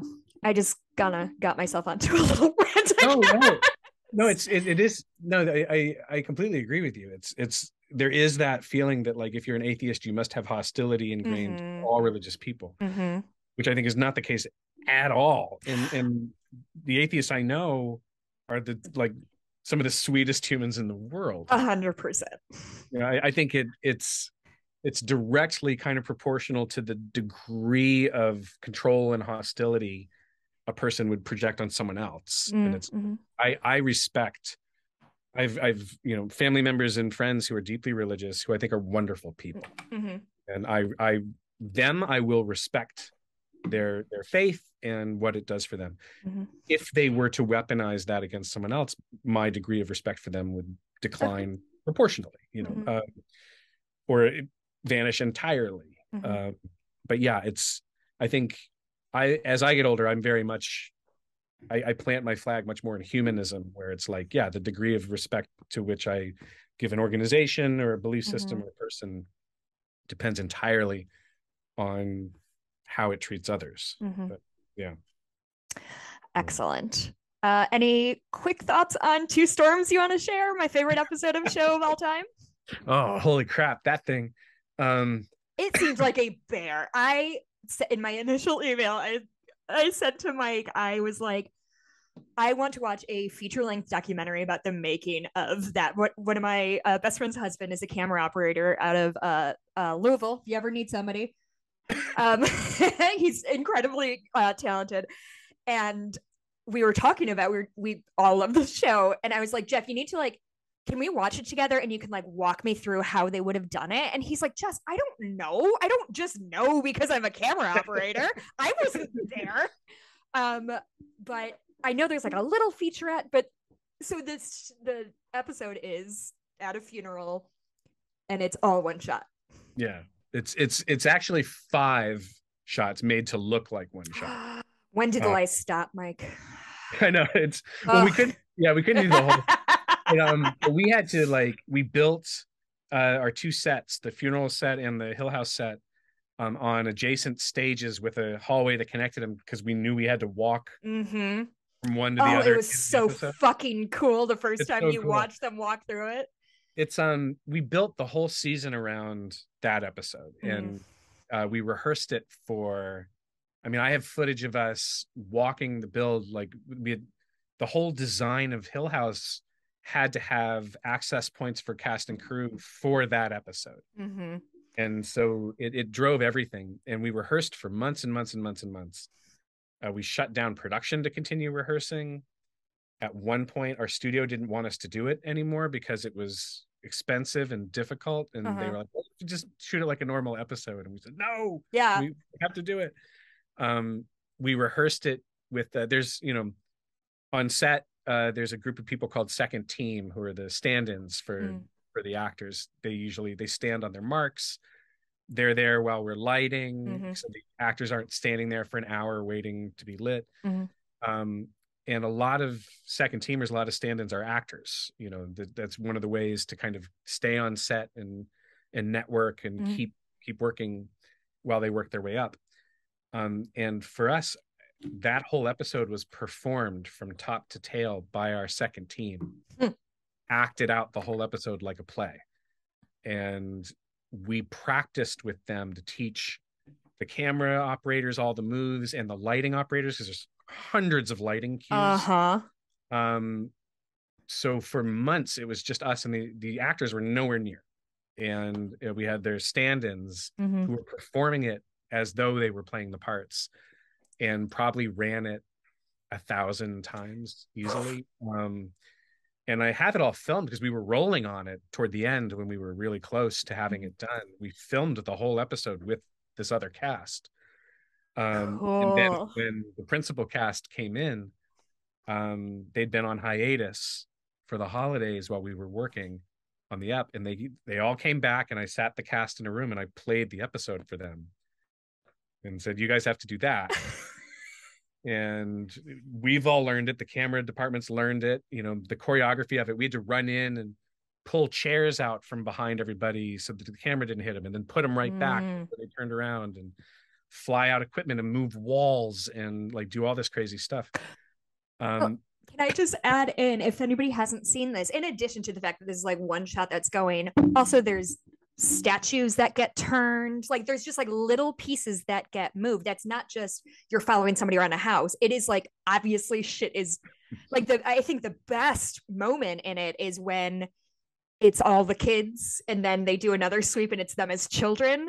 yeah I just oh, it's so good, you guys. If you haven't watched it, what are we doing? Anyway, continue. Uh, continue, please. Well, it was it was uh remains the hardest thing I've ever had to do. Would you do it Uh, again? no. Would you, do you regret having done it? No, I love it. Yeah. I'm, I'm I'm so proud of it. Um we almost didn't do it. It Mm. it we so many times we were that close to completely failing Mm. on it. Um and even at the end we only barely survived it like by the skin of our teeth. Uh-huh. um I look at it now and uh we relied on I mean, it, it, we asked more of our dolly grip on that episode than I think anyone will ever ask of him in his career ever again. Um, every crew member had to, you know, do a thousand percent Yeah. of what they typically did. And I look at it now and all the things that could go wrong. And I don't know that I have the hunger or the determination that I had then Mm. to go through with it. I think now I, I would have hit a point and been like, no. Did you uh, feel like you were proving something or just you wanted to manifest this thing in your head? I it was my first TV show. I wanted a career in TV. Mm. It was an awful shoot. It was a shooting that show was no fun, and we were on the brink of extinction kind of all the time. Wow. And I I felt by the time we got to that episode, which we did toward the end, um, that there was a good chance that my career in television was over, um, and that this show was going to be the only thing I did. And so Hmm. I wanted to leave everything on the field. It was it was like, all right, if we're if we're going down, we're going down swinging. Yeah. hmm Um, and Jimmy had- World quote. yeah, and, and it really was like in the pitch when I pitched the show, I had pitched this episode without Mhm. knowing how to do it, and um, and I didn't want to retreat and kind of be like, well, we couldn't do it. Mhm. Um, and so it turned into this this Mount Everest challenge for the cast and crew. Um, and we put everything we had on it. And uh, if the show hadn't been a hit, my thing was I'll always have that episode. yeah. We will have always done that. hmm Um, and for the longest time, I thought the show wasn't going to be a hit. It, it uh, when it when it came out, everyone had kind of walked away from it, and the enthusiasm at Netflix and Mm. Paramount and Amblin wasn't high, and Steven Spielberg had taken his name off the show, and and it was His name was on the show? it wasn't. He took it off. Wait, it was supposed to be though? Yeah, so it was, it was an Amblin Partners show, Oh. and he um he decides kind of along the way if he wants to put Steven Spielberg presents, you know, on the show. Whoa. And and along the way, you know, the decision came down that he was like, nah.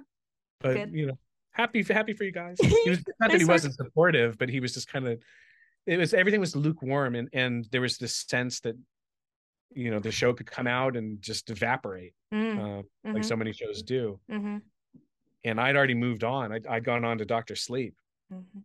um, and I was like, get me back in the in the theaters and away from TV. TV almost killed me. I lost 45 pounds making that show. Um, Whoa. yeah, I I I I came out of it looking like like I was about to die, and um, and it it you know it brutalized personal relationships uh, within the cast and crew, and it, it just put an enormous amount of strain on everybody. So we, we finished the show and was kind of like no more TV.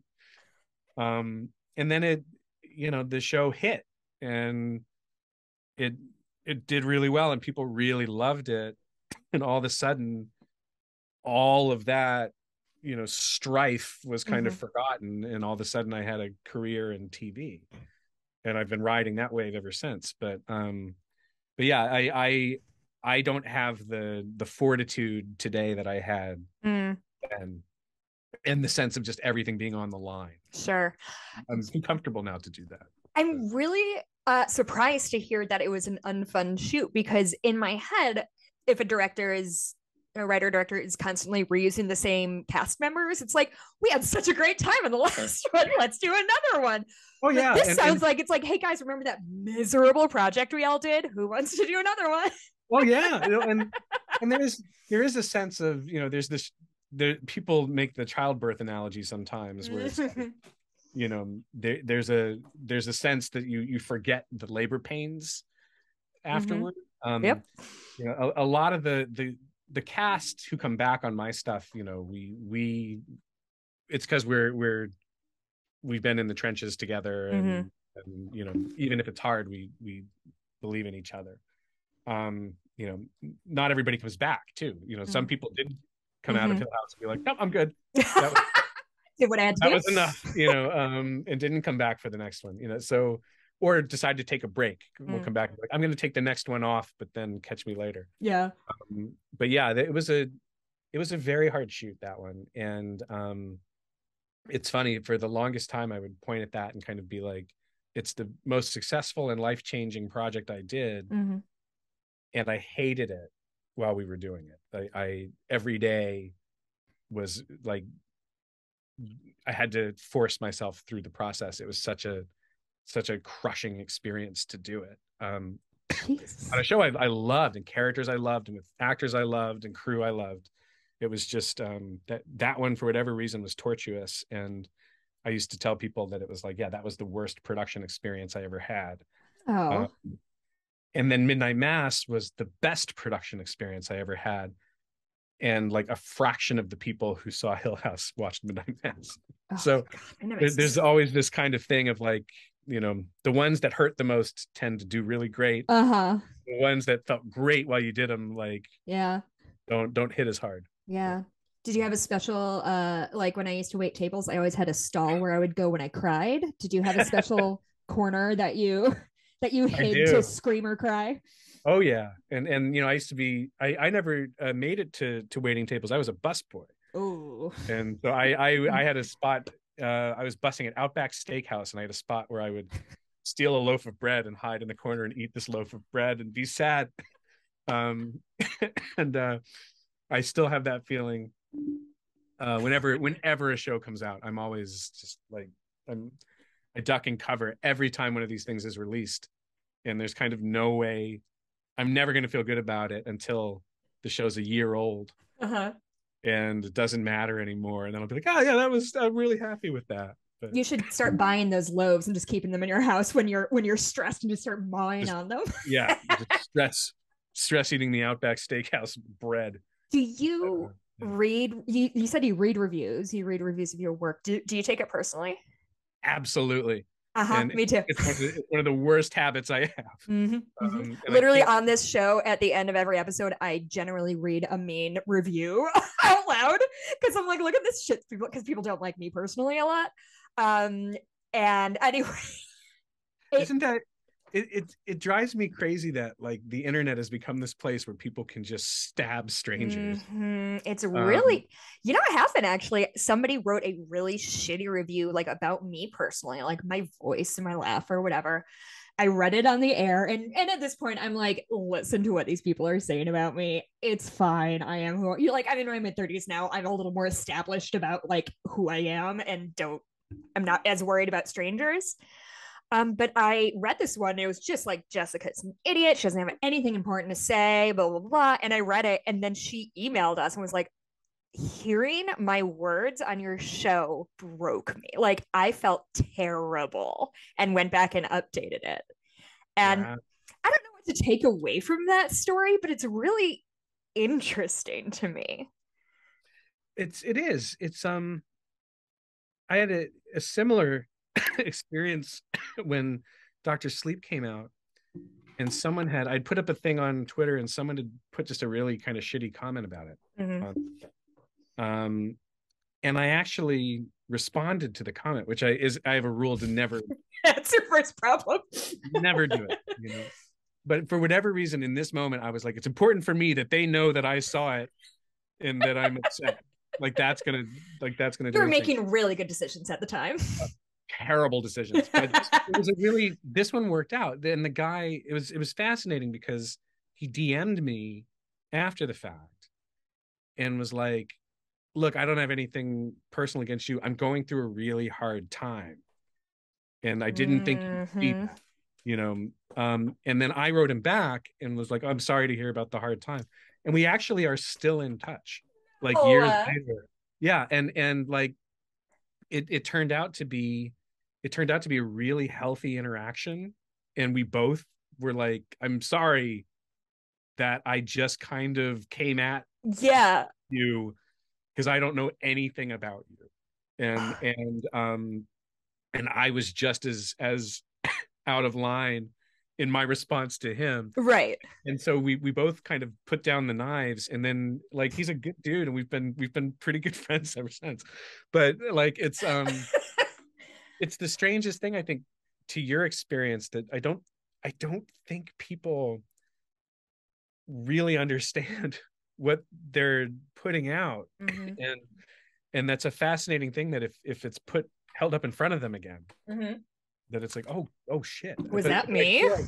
yeah, that we have we have these lives that are so full of kind of unknowable triggers and stressors and, Mhm. and anxieties and if you can scream it into a void Mhm. um, and just lash out at something it can it can feel better and and i think the internet has done an incredible job of holding each other up as targets for that Mhm. and i think most people i like to think most people if they really were to look at it would be like i wouldn't say that Right. to another person this isn't how i really feel it's it's just a it's a strange thing we do I've had interactions with that like that on Facebook that it's like somebody said something, whatever, and I responded and they're like, This isn't real life, it's Facebook. And it's like, well, I'm a human being and I read your mean words about me. So it is a It is little bit real. my life. Yeah. it, it's so real and and it's and it's one of the reasons why eh, like my wife my producer they're all like stop reading the stuff about the shows Mhm. um and and we how interesting is it too that we can shove aside positive things Oh boy, am I good at that. yeah Whew. you just it's like doesn't even register Well, that guy's an idiot if he thinks Yeah. I'm good. So Yeah. like that's not even worth yeah. the attention but somebody says something negative and we grab it and then like it echoes and like i'll sit up at two in the morning and be like oh yeah and like be like like like determined Oh. at 2 a.m to like have a rebuttal and it's like there's Mhm. no rebuttal like this person doesn't like me or I do that in the shower. I imagine arguments that I win.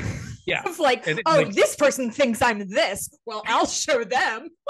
you got this perfect like fantasy response that just dunks on them and then they just go i'm sorry Yeah. and fade Oh away Oh my God, Yeah. you're right. I never thought of it that way. I Yeah. just needed you to say that to me just now. You did it. Congratulations. You, You changed my me. mind. yeah I, my mind's changed Yeah. I've I've come around, and it's of course it isn't that way, and it's it's the it's the strangest thing. I'm sorry you have to to deal with that. Mm. uh, I mean, it's just part of being, I don't know. What do you think? It's part of not that I'm like famous in any way, but we've got uh, like 20,000 downloads. So, like, it, there's a little bit of a presence. do you feel like personally when people attack you? Like, is it, I'm a bad person because I made this movie? Because sometimes that's how I feel. I'm like, oh, I guess Yeah. I'm just a bad person. No, I mean, it, I yeah, sometimes it really gets in. hmm Um, it, it can really it can really get in there, and and there are times I've had to put away the internet, Mm, be like, I need to step away from it for a month for mhm. for self care. And it's interesting because when you got in touch, you know, I get a lot of um, I get a lot of kind of cold requests Mhm. on podcasts in particular. I don't tend to do them, um, and and your show interested me. You know, I, I very much like what you are talking about and what you have to say, and and so I get a lot of these of, of these requests, and I got to the point at one point where I got paranoid that they were traps. That Oh, it was no. yeah I, I got into this bizarre place where it was just like you know how do i know that like if i go out there and i talk about something personal Mm, you know um and this one i knew kind of going in it's like we're talking about atheism we're talking about alcoholism Right. this is personal Yeah. um and it's like you get you do it every time you you record a show you're putting yourself on a personal level out there mhm. um and it's like this sense of like people waiting in the wings with the knives that, Mhm. you know um and the older i get the more flinchy i've gotten and the more withdrawn i've gotten and the less eager i am to to talk Mm. in public um because i do take it personally and i and i and i have this like growing sense of discomfort with my life being visible Mm.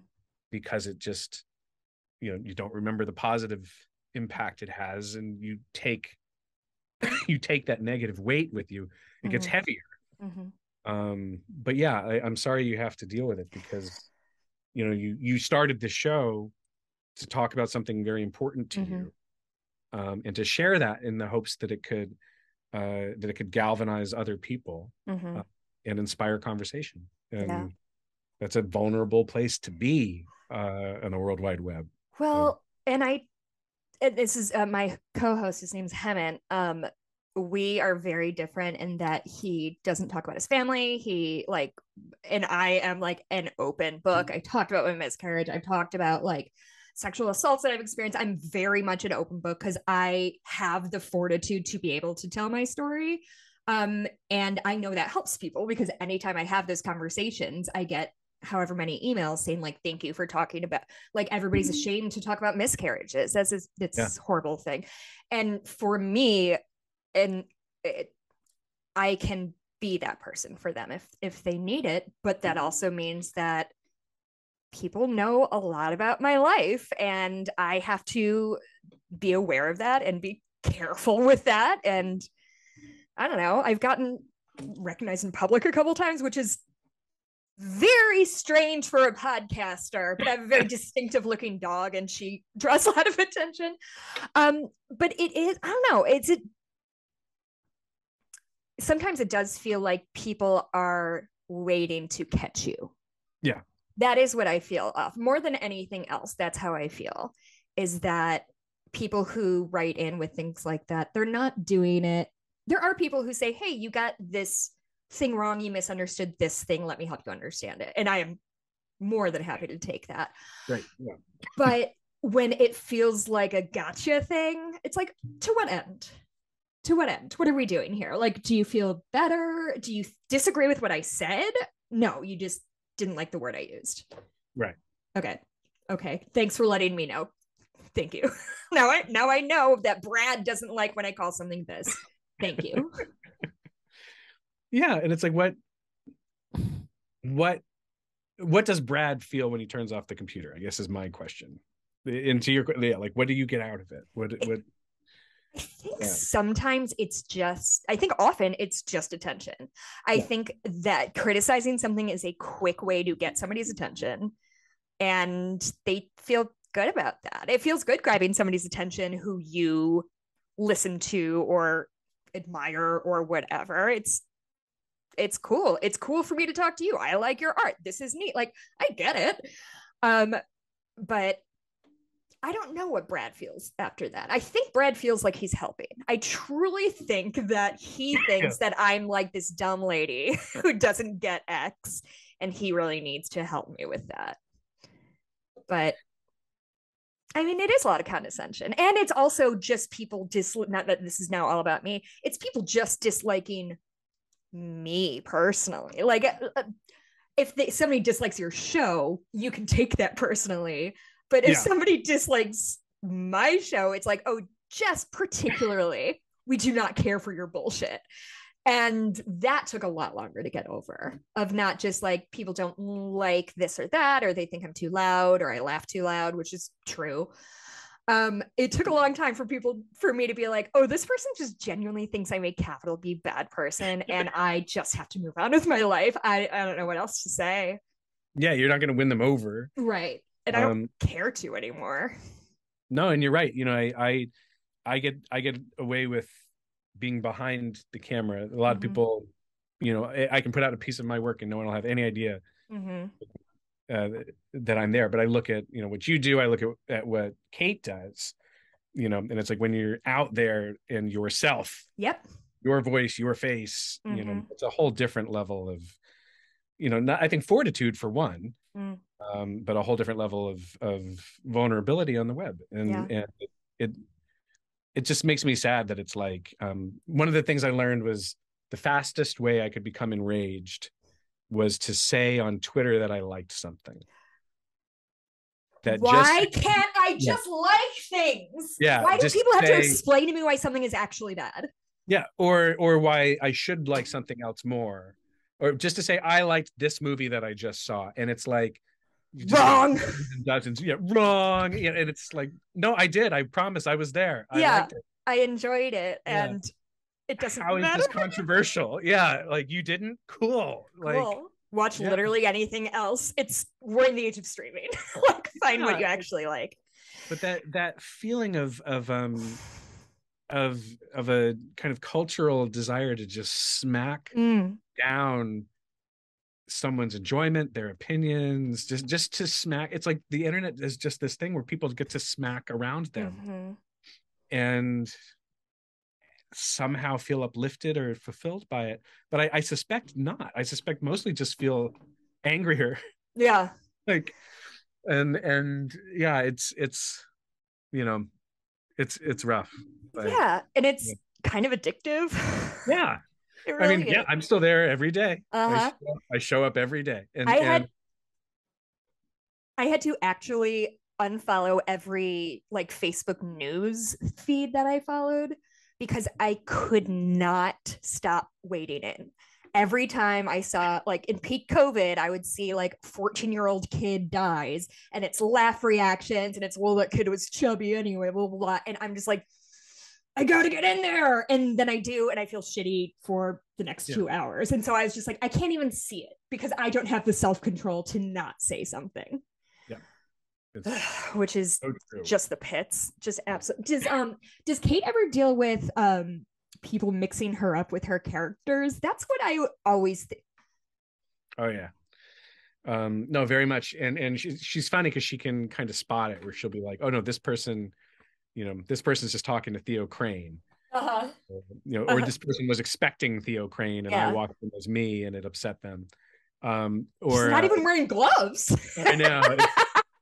And she gets she gets spotted all the time. So you know, it's something that happens very frequently when when we're out in public now, um, which makes us go out less. yeah. Uh, and it it started out as being so exciting and Mhm. and flattering. Um, but yeah, there's a lot of people who have this image of her in their head um, and get weirdly personal. Yeah. But but she still, you know, she loves interacting with her fans Mhm. and you know, she goes and does the convention circuit here and there and really gets to interact with them and and some of the Mm. people who she comes across kind of for every bumpy experience there's like five ones that are really positive and and people who really you know uh, who she really made a difference for Mhm. somewhere there And then she can immediately forget those and just focus on the ones that are weirdos. this is where it's just about the bad one. Yeah. Um but she she handles it better than i do to be honest.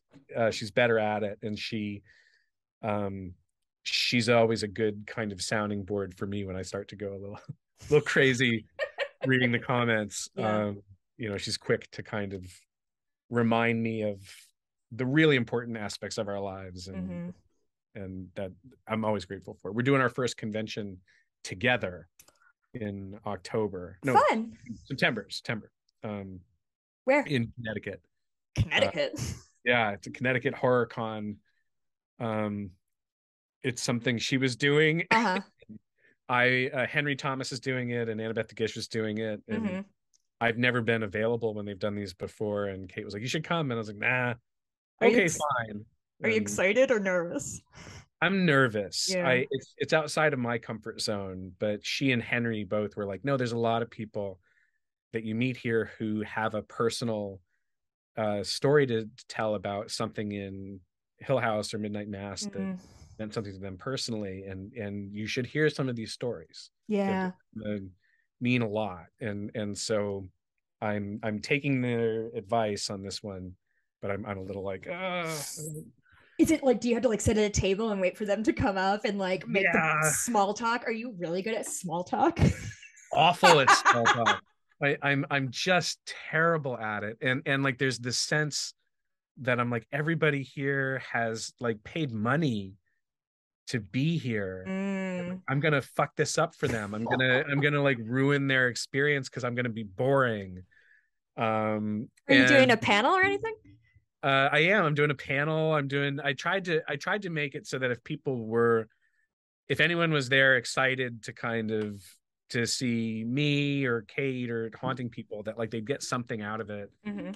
um, that they can't get on, out of google you know Yeah. Yeah. um, so I tried to maximize it because I just have this like feeling of like I'm sorry that that you know this is all you get.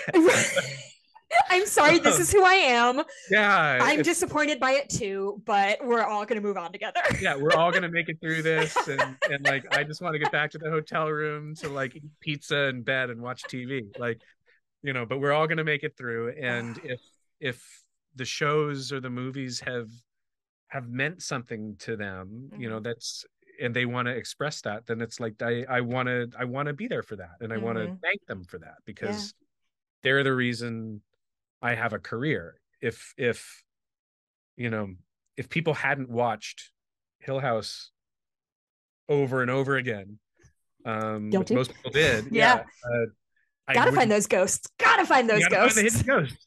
Um, then I, I wouldn't I wouldn't have a career. So it's in a lot of ways I'm there to kind of to say thank you Mm, and to just kind of be there for for anyone who wants to say something because you know I've I've met people I've been fortunate that I've met people whose work has made a difference in my life in a big way. mhm. I've gotten it's like with with Stephen King who Mhm. when for most of my life if you told me I could have reached out and said thank you to Stephen King Yeah. i, I would have been like that sounds insane Insanity. um but i was in a position where i could and and it was really meaningful for me to reach out to him and say thank you for helping me get sober even though you had no idea you were doing it." hmm um and i'm sure for him it was just you know uh, okay but it, it meant a lot to me so it's it's it's um i'm hoping that it's that kind of experience and I mean, I think it will be because I've been again on both sides of that coin and had somebody come up. Like literally, I, I did a meetup in LA and this dude literally came in for I think five minutes between shifts. Came in and was like, Hi, I can't stay. I'm so sorry. I just wanted to say, you know, this monologue to you. Thank you. I have to go by. Like, and it feels so good to thank the person for Yeah. bringing you comfort or joy or you know i talk to a lot of people who are like in the bible belt and so they can't talk about things like this in public and the our podcast of us like bullshitting and talking about the news and everything is their only outlet of like-minded people Yeah. discussing things that they care about and you know that's that's important and but but yeah do we have any more haunting series is coming out Uh, I don't think so. I, at, at the Mm. moment, anyway. No. Um, you know, the haunting shows are tough. They're they're tough to do, and all those ghosts all those ghosts, all those hidden ghosts. Um, but yeah, was that something you regretted immediately oh that that I always loved, and Yeah. and it was a last minute thing. It was it was like it was part of the pitch where I was like, we can hide ghosts the way they do in pictures, uh, and then everybody kind of forgotten about it while we were in prep, and I went to local casting. And I was like, just get me, give me two or three people every day who are in full ghost makeup, and just have them standing by. I don't know when I'm going to put them in, but if you just every day, if you have them there, I will find a way to make it work. And it was like I'd come to work and you're dealing with all these problems and all this stuff. And I'd look over and at the craft service table, you'd have like these three ghosts sitting there eating candy. And it was so fun. And and like I'd be like, all right, come here. Like we're gonna have to go to the piano. Or come here, you get behind behind the curtain. And it became this fun joke of like I'd try to hide them in a way where the cast didn't know they were there. oh Um, And that was the fun of it. Was like Carla, yeah and and and it was it was a fun little way to keep things light Mhm. um and i knew it would be fun for the audience eventually but we were we felt that felt like 10 years away yeah yeah it, it was really cool to have carla come in and do a scene and then to kind of be like hey carla look uh and she'd turn and there's someone right here and she'd be like god damn it you know um And- so so, funny like that stuff was really just fun. Um but uh but yeah the i don't i don't think there's another haunting in the future. I i always kind of said if the right idea Mm. pops up but i didn't want to force it and i didn't want to just crank out shows with the haunting the of- haunting of yeah. Yeah um and just regurgitating what we did Mhm. i always wanted it to be different um, yeah and i just i don't have an idea for one so I, i'm just kind of like ah, I don't know. yeah i'm trying to think of other horror novels from that era that haven't been adapted and they're all they've all been done Well, we, we made like- a list. We have we have a, a list of like all the classic horror literature, uh-huh and I have a, a bunch of like half finished ideas that would run out of gas. uh-huh Um, but the thing that always kind of every time it was like, well, do I do Haunting three or I want to do Midnight Mass? I really want to. Mm. Or it was like, well, you know, we could go back and talk about the Haunting, but you know, we've got these Christopher Pike books ready to go, and like it's really important to try to make something my kids can watch. Mm, mhm. And then. Fall of the House of Usher for a hot second. It was like maybe that could be the haunting. The haunting of the House of Usher. but it wasn't a ghost story. No. and and so it was like the Poe stuff isn't really ghost stories, and you know, it's not really a haunting. Yeah. So, It would be forcing it to yeah, it, it was it was really forcing it, and it was like, so no, we're just doing we're doing this cool Poe show, but it's Uh-huh. not haunting. Um, and so I've gotten to the point now where I'm just kind of like, I, I don't want to force it. Mm, If something comes along, great, but you know, I always thought of that as a one-off. I didn't think it was like a an anthology series. Bly Manor just felt like it felt like it would work yeah. in framework. Yeah. And even then, you know, we the criticism came in that it was different than Hill House. And it's Yeah. like, well, yep. but yeah, it's a, it's gothic romance. Yeah. Congratulations on watching two different shows.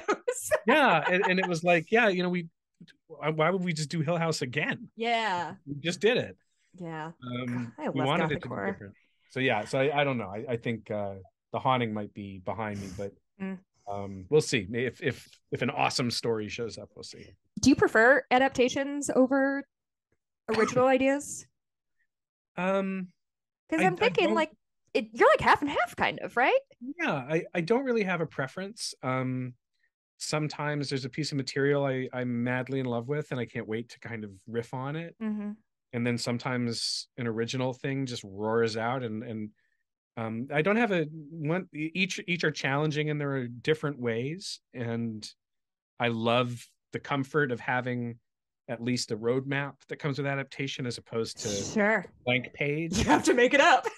yeah it, like that can be really tough but i also love the freedom of the blank page and Mhm. and not worrying about oh am i going to piss off the author or the fans Mhm. um so yeah I, I love them both and i think i tv for whatever reason started with adaptation so that seems to be kind of the Mhm. touchstone we keep going back to Mhm. and it's such a the industry is so ip driven now where they Yep. they feel more confident if they can point to a book or Yeah. something um but i you know my favorite one was was midnight mass and, and it in a lot of ways was my favorite because uh it was it it was mine Mm. um, but uh yeah i don't know I, I love them all i i'm just lucky to get to work like Mhm. Yeah. i just love telling stories so I, if we get to keep doing that then great Do you ever see yourself doing like an an actual series instead of like a limited series? Or do you Yeah. like yeah? Oh, Yeah. cool. yeah i think limited series are like novels Mm, mhm. I, I love that. Um, but Midnight Club is designed to be open ended. Oh, okay. designed to keep going Mhm. if they want it to. Um, the you know the risk with that is they never decide until it's already out. So you have to figure out how to end it in a way that. Is Let's- both satisfying Yeah. and leaves the door open. Yeah. And I, I hate that. Like I That's hate a- straddling that line. Um, but, you know, Capitalism. I'd love to do an ongoing series. I'd love to. It- Mm. Would you- So I feel like a criticism, and I'm so sorry, I've kept you two full hours. Oh, if sure. you need to, if you need to bounce, please do. Um, uh, but oh, I, I've heard criticism. So for Lost is the thing I'm thinking of, of like they did this series and just didn't have an ending in mind for it, Yeah. and so it did what it did. Um, whereas like especially like in the UK, they tend to be like, okay, we're doing this five series, you know, season or whatever. Do you think it is possible to go into like if you went into a show, would you say, okay, I want to do five seasons of this and this is the storyline of it? Or do you want to say, like, here's my pitch for a show? Can I do a few seasons? How many? I like to have it mapped out, and I think Mhm. that's the difference between Lost and The Wire. You know, Yes, So, yes, uh, yes. I, I think it's important to know the size of the story hmm and and where you're going and how you keep it going, so you don't have to tread water or, or kind of Mhm. break it. Uh, so I I like the British model where it's like this is what it is. Yeah. it's really hard to get people to commit to it in the American marketplace. Um, oh, of course. it's it's the the trick is because I've developed shows that are five seasons Mm. and two movies. you know, Mhm. Oh yeah. brought that to people and been Yeah. like, here's the whole thing. And they're like, well, we'll see how it goes. You know, we'll do one, we'll do a pilot and see how it goes. It's like, well, but there's almost no point in starting this Yeah. if we're not going to finish it. Um, and and so it's dicey. It's it's it's a crapshoot. Is having your own production company protection against that kind of like wishy-washy stuff or no? Not really, because we we can't finance anything.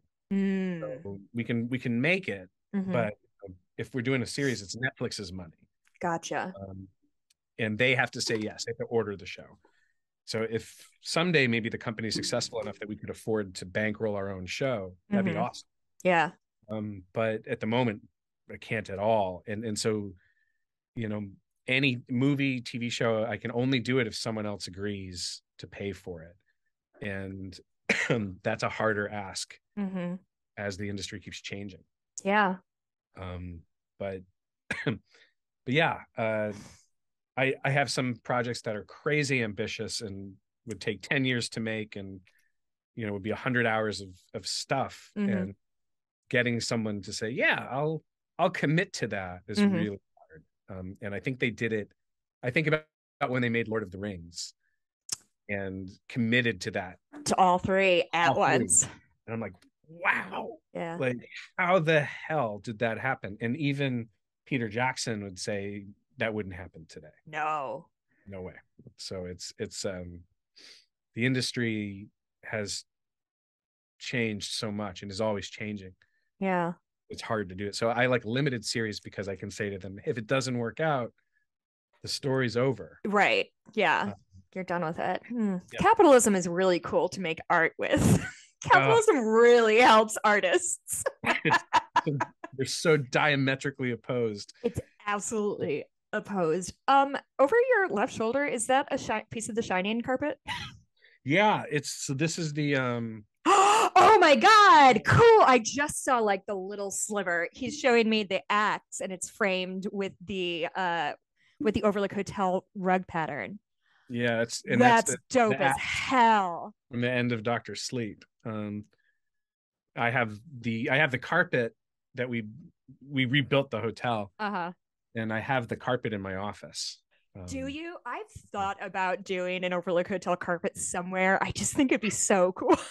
It's awesome. It's it's the carpet's beautiful. Um, but yeah, I, I try to I keep little mementos from all the movies. Um, I love that carpet. I love to think about things that become iconic kind of incidentally. yeah.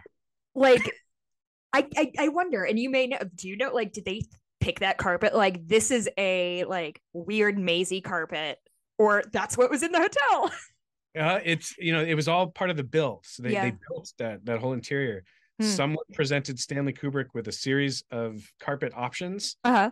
and that was one where he went, "Yep." Um, and Good eye. yeah, it's the the carpet in room uh 237 and the carpet in the gold room um are all different and Hmm. all equally crazy and cool. But that one, for whatever reason, just became Instant. So iconic. yeah. And it's the thing when we were trying to recreate it, we couldn't find it anywhere that wasn't kind of like a fan, you know, Mhm. like a recreation. Mhm. I don't think it existed before the movie. I think someone just presented a pattern and Kubrick said, "Yep," and print it. Interesting. Yeah, it's uh it's it is pretty cool. Um, That's look, very I cool. actually got to get going. Oh, you mean two hours is too long to commit to a podcaster you've never met? That's so no, look, rude. this was a, a total joy though, or or I definitely wouldn't have stayed for two hours. this Um, was so much fun. I I do want to say like I absolutely love your work. I think your work with like female characters is incredible and something that we sorely need in especially in horror. Um Midnight Mass just fucking rules though. That's the thing. Is Midnight Mass is so fucking good. It's just a good piece of business. Um, okay. Thank you so much for your time. I cannot thank you enough. This is a very cool opportunity for me. Oh, my dog's here now. Um, thank you, sweet girl. This is my dog Dottie. She's a Hi, goober. Dottie. She's the dumbest dog in existence. Um, anyway, I just revealed I'm also wearing sweatpants. Whoops. Um, Okay, that's okay. So am I. I'm in the- yeah. Professionals. Am I are you in your like movie theater? I am. This is my Oh. little my little uh little tiny movie theater with four seats So cool. just for the family. We have there are five five of us and four seats. That's because I built this, it was before my daughter was born. Um, and so I have to figure that out. Um, well, sounds like kids are going to be vying for the spots. Like the Yeah. worst kid has to sit on the floor that day. I my thing is I'll, I'll sit on the floor and make sure everybody's got stuff, but I need to figure out how to how to make this right. Yeah. Um, but, but yeah, it's a tiny tiny little uh little tiny little home theater in our in our house, but um but yeah, we look, have this is something similar. Yeah. uh, it's this has been a total joy. Uh, you have my info, so like drop me a line. I'll put you in touch with Kate. And I I'm sure appreciate that chat very much. Um wow, Mike, thank you for for this opportunity. I hope it wasn't uh I hope it was somewhat enjoyable. Oh, it was a Um, blast, a total blast. thank so- you. Thanks for the great um, conversation. Whew. Thank you so much for this. Um, it was great meeting you. Um, anything that we you need to promote, plug, watch all the stuff on Netflix. I don't know. Your shit's more No, no, popular I- than I think mine. we- I think we covered it. Um, yeah, but Maybe I there's look. Two just- people who don't have Netflix yet. well, I I think it's great what you do. So please keep doing it and keep doing it the way that you're doing it, and do everything you can to ignore anybody who tells you otherwise. Um, but you've got a fantastic way of communicating, and it's wonderful that that you're doing this show. So I I'm grateful to be a part of it, and I hope you keep keep at it. So, Thank you so much. I'm not gonna cry. I'm a professional. Um, Mike, thank you. Um, I hope you have a great rest of your week, and I will be uh be in touch. I will let you know when this comes out. thank you much.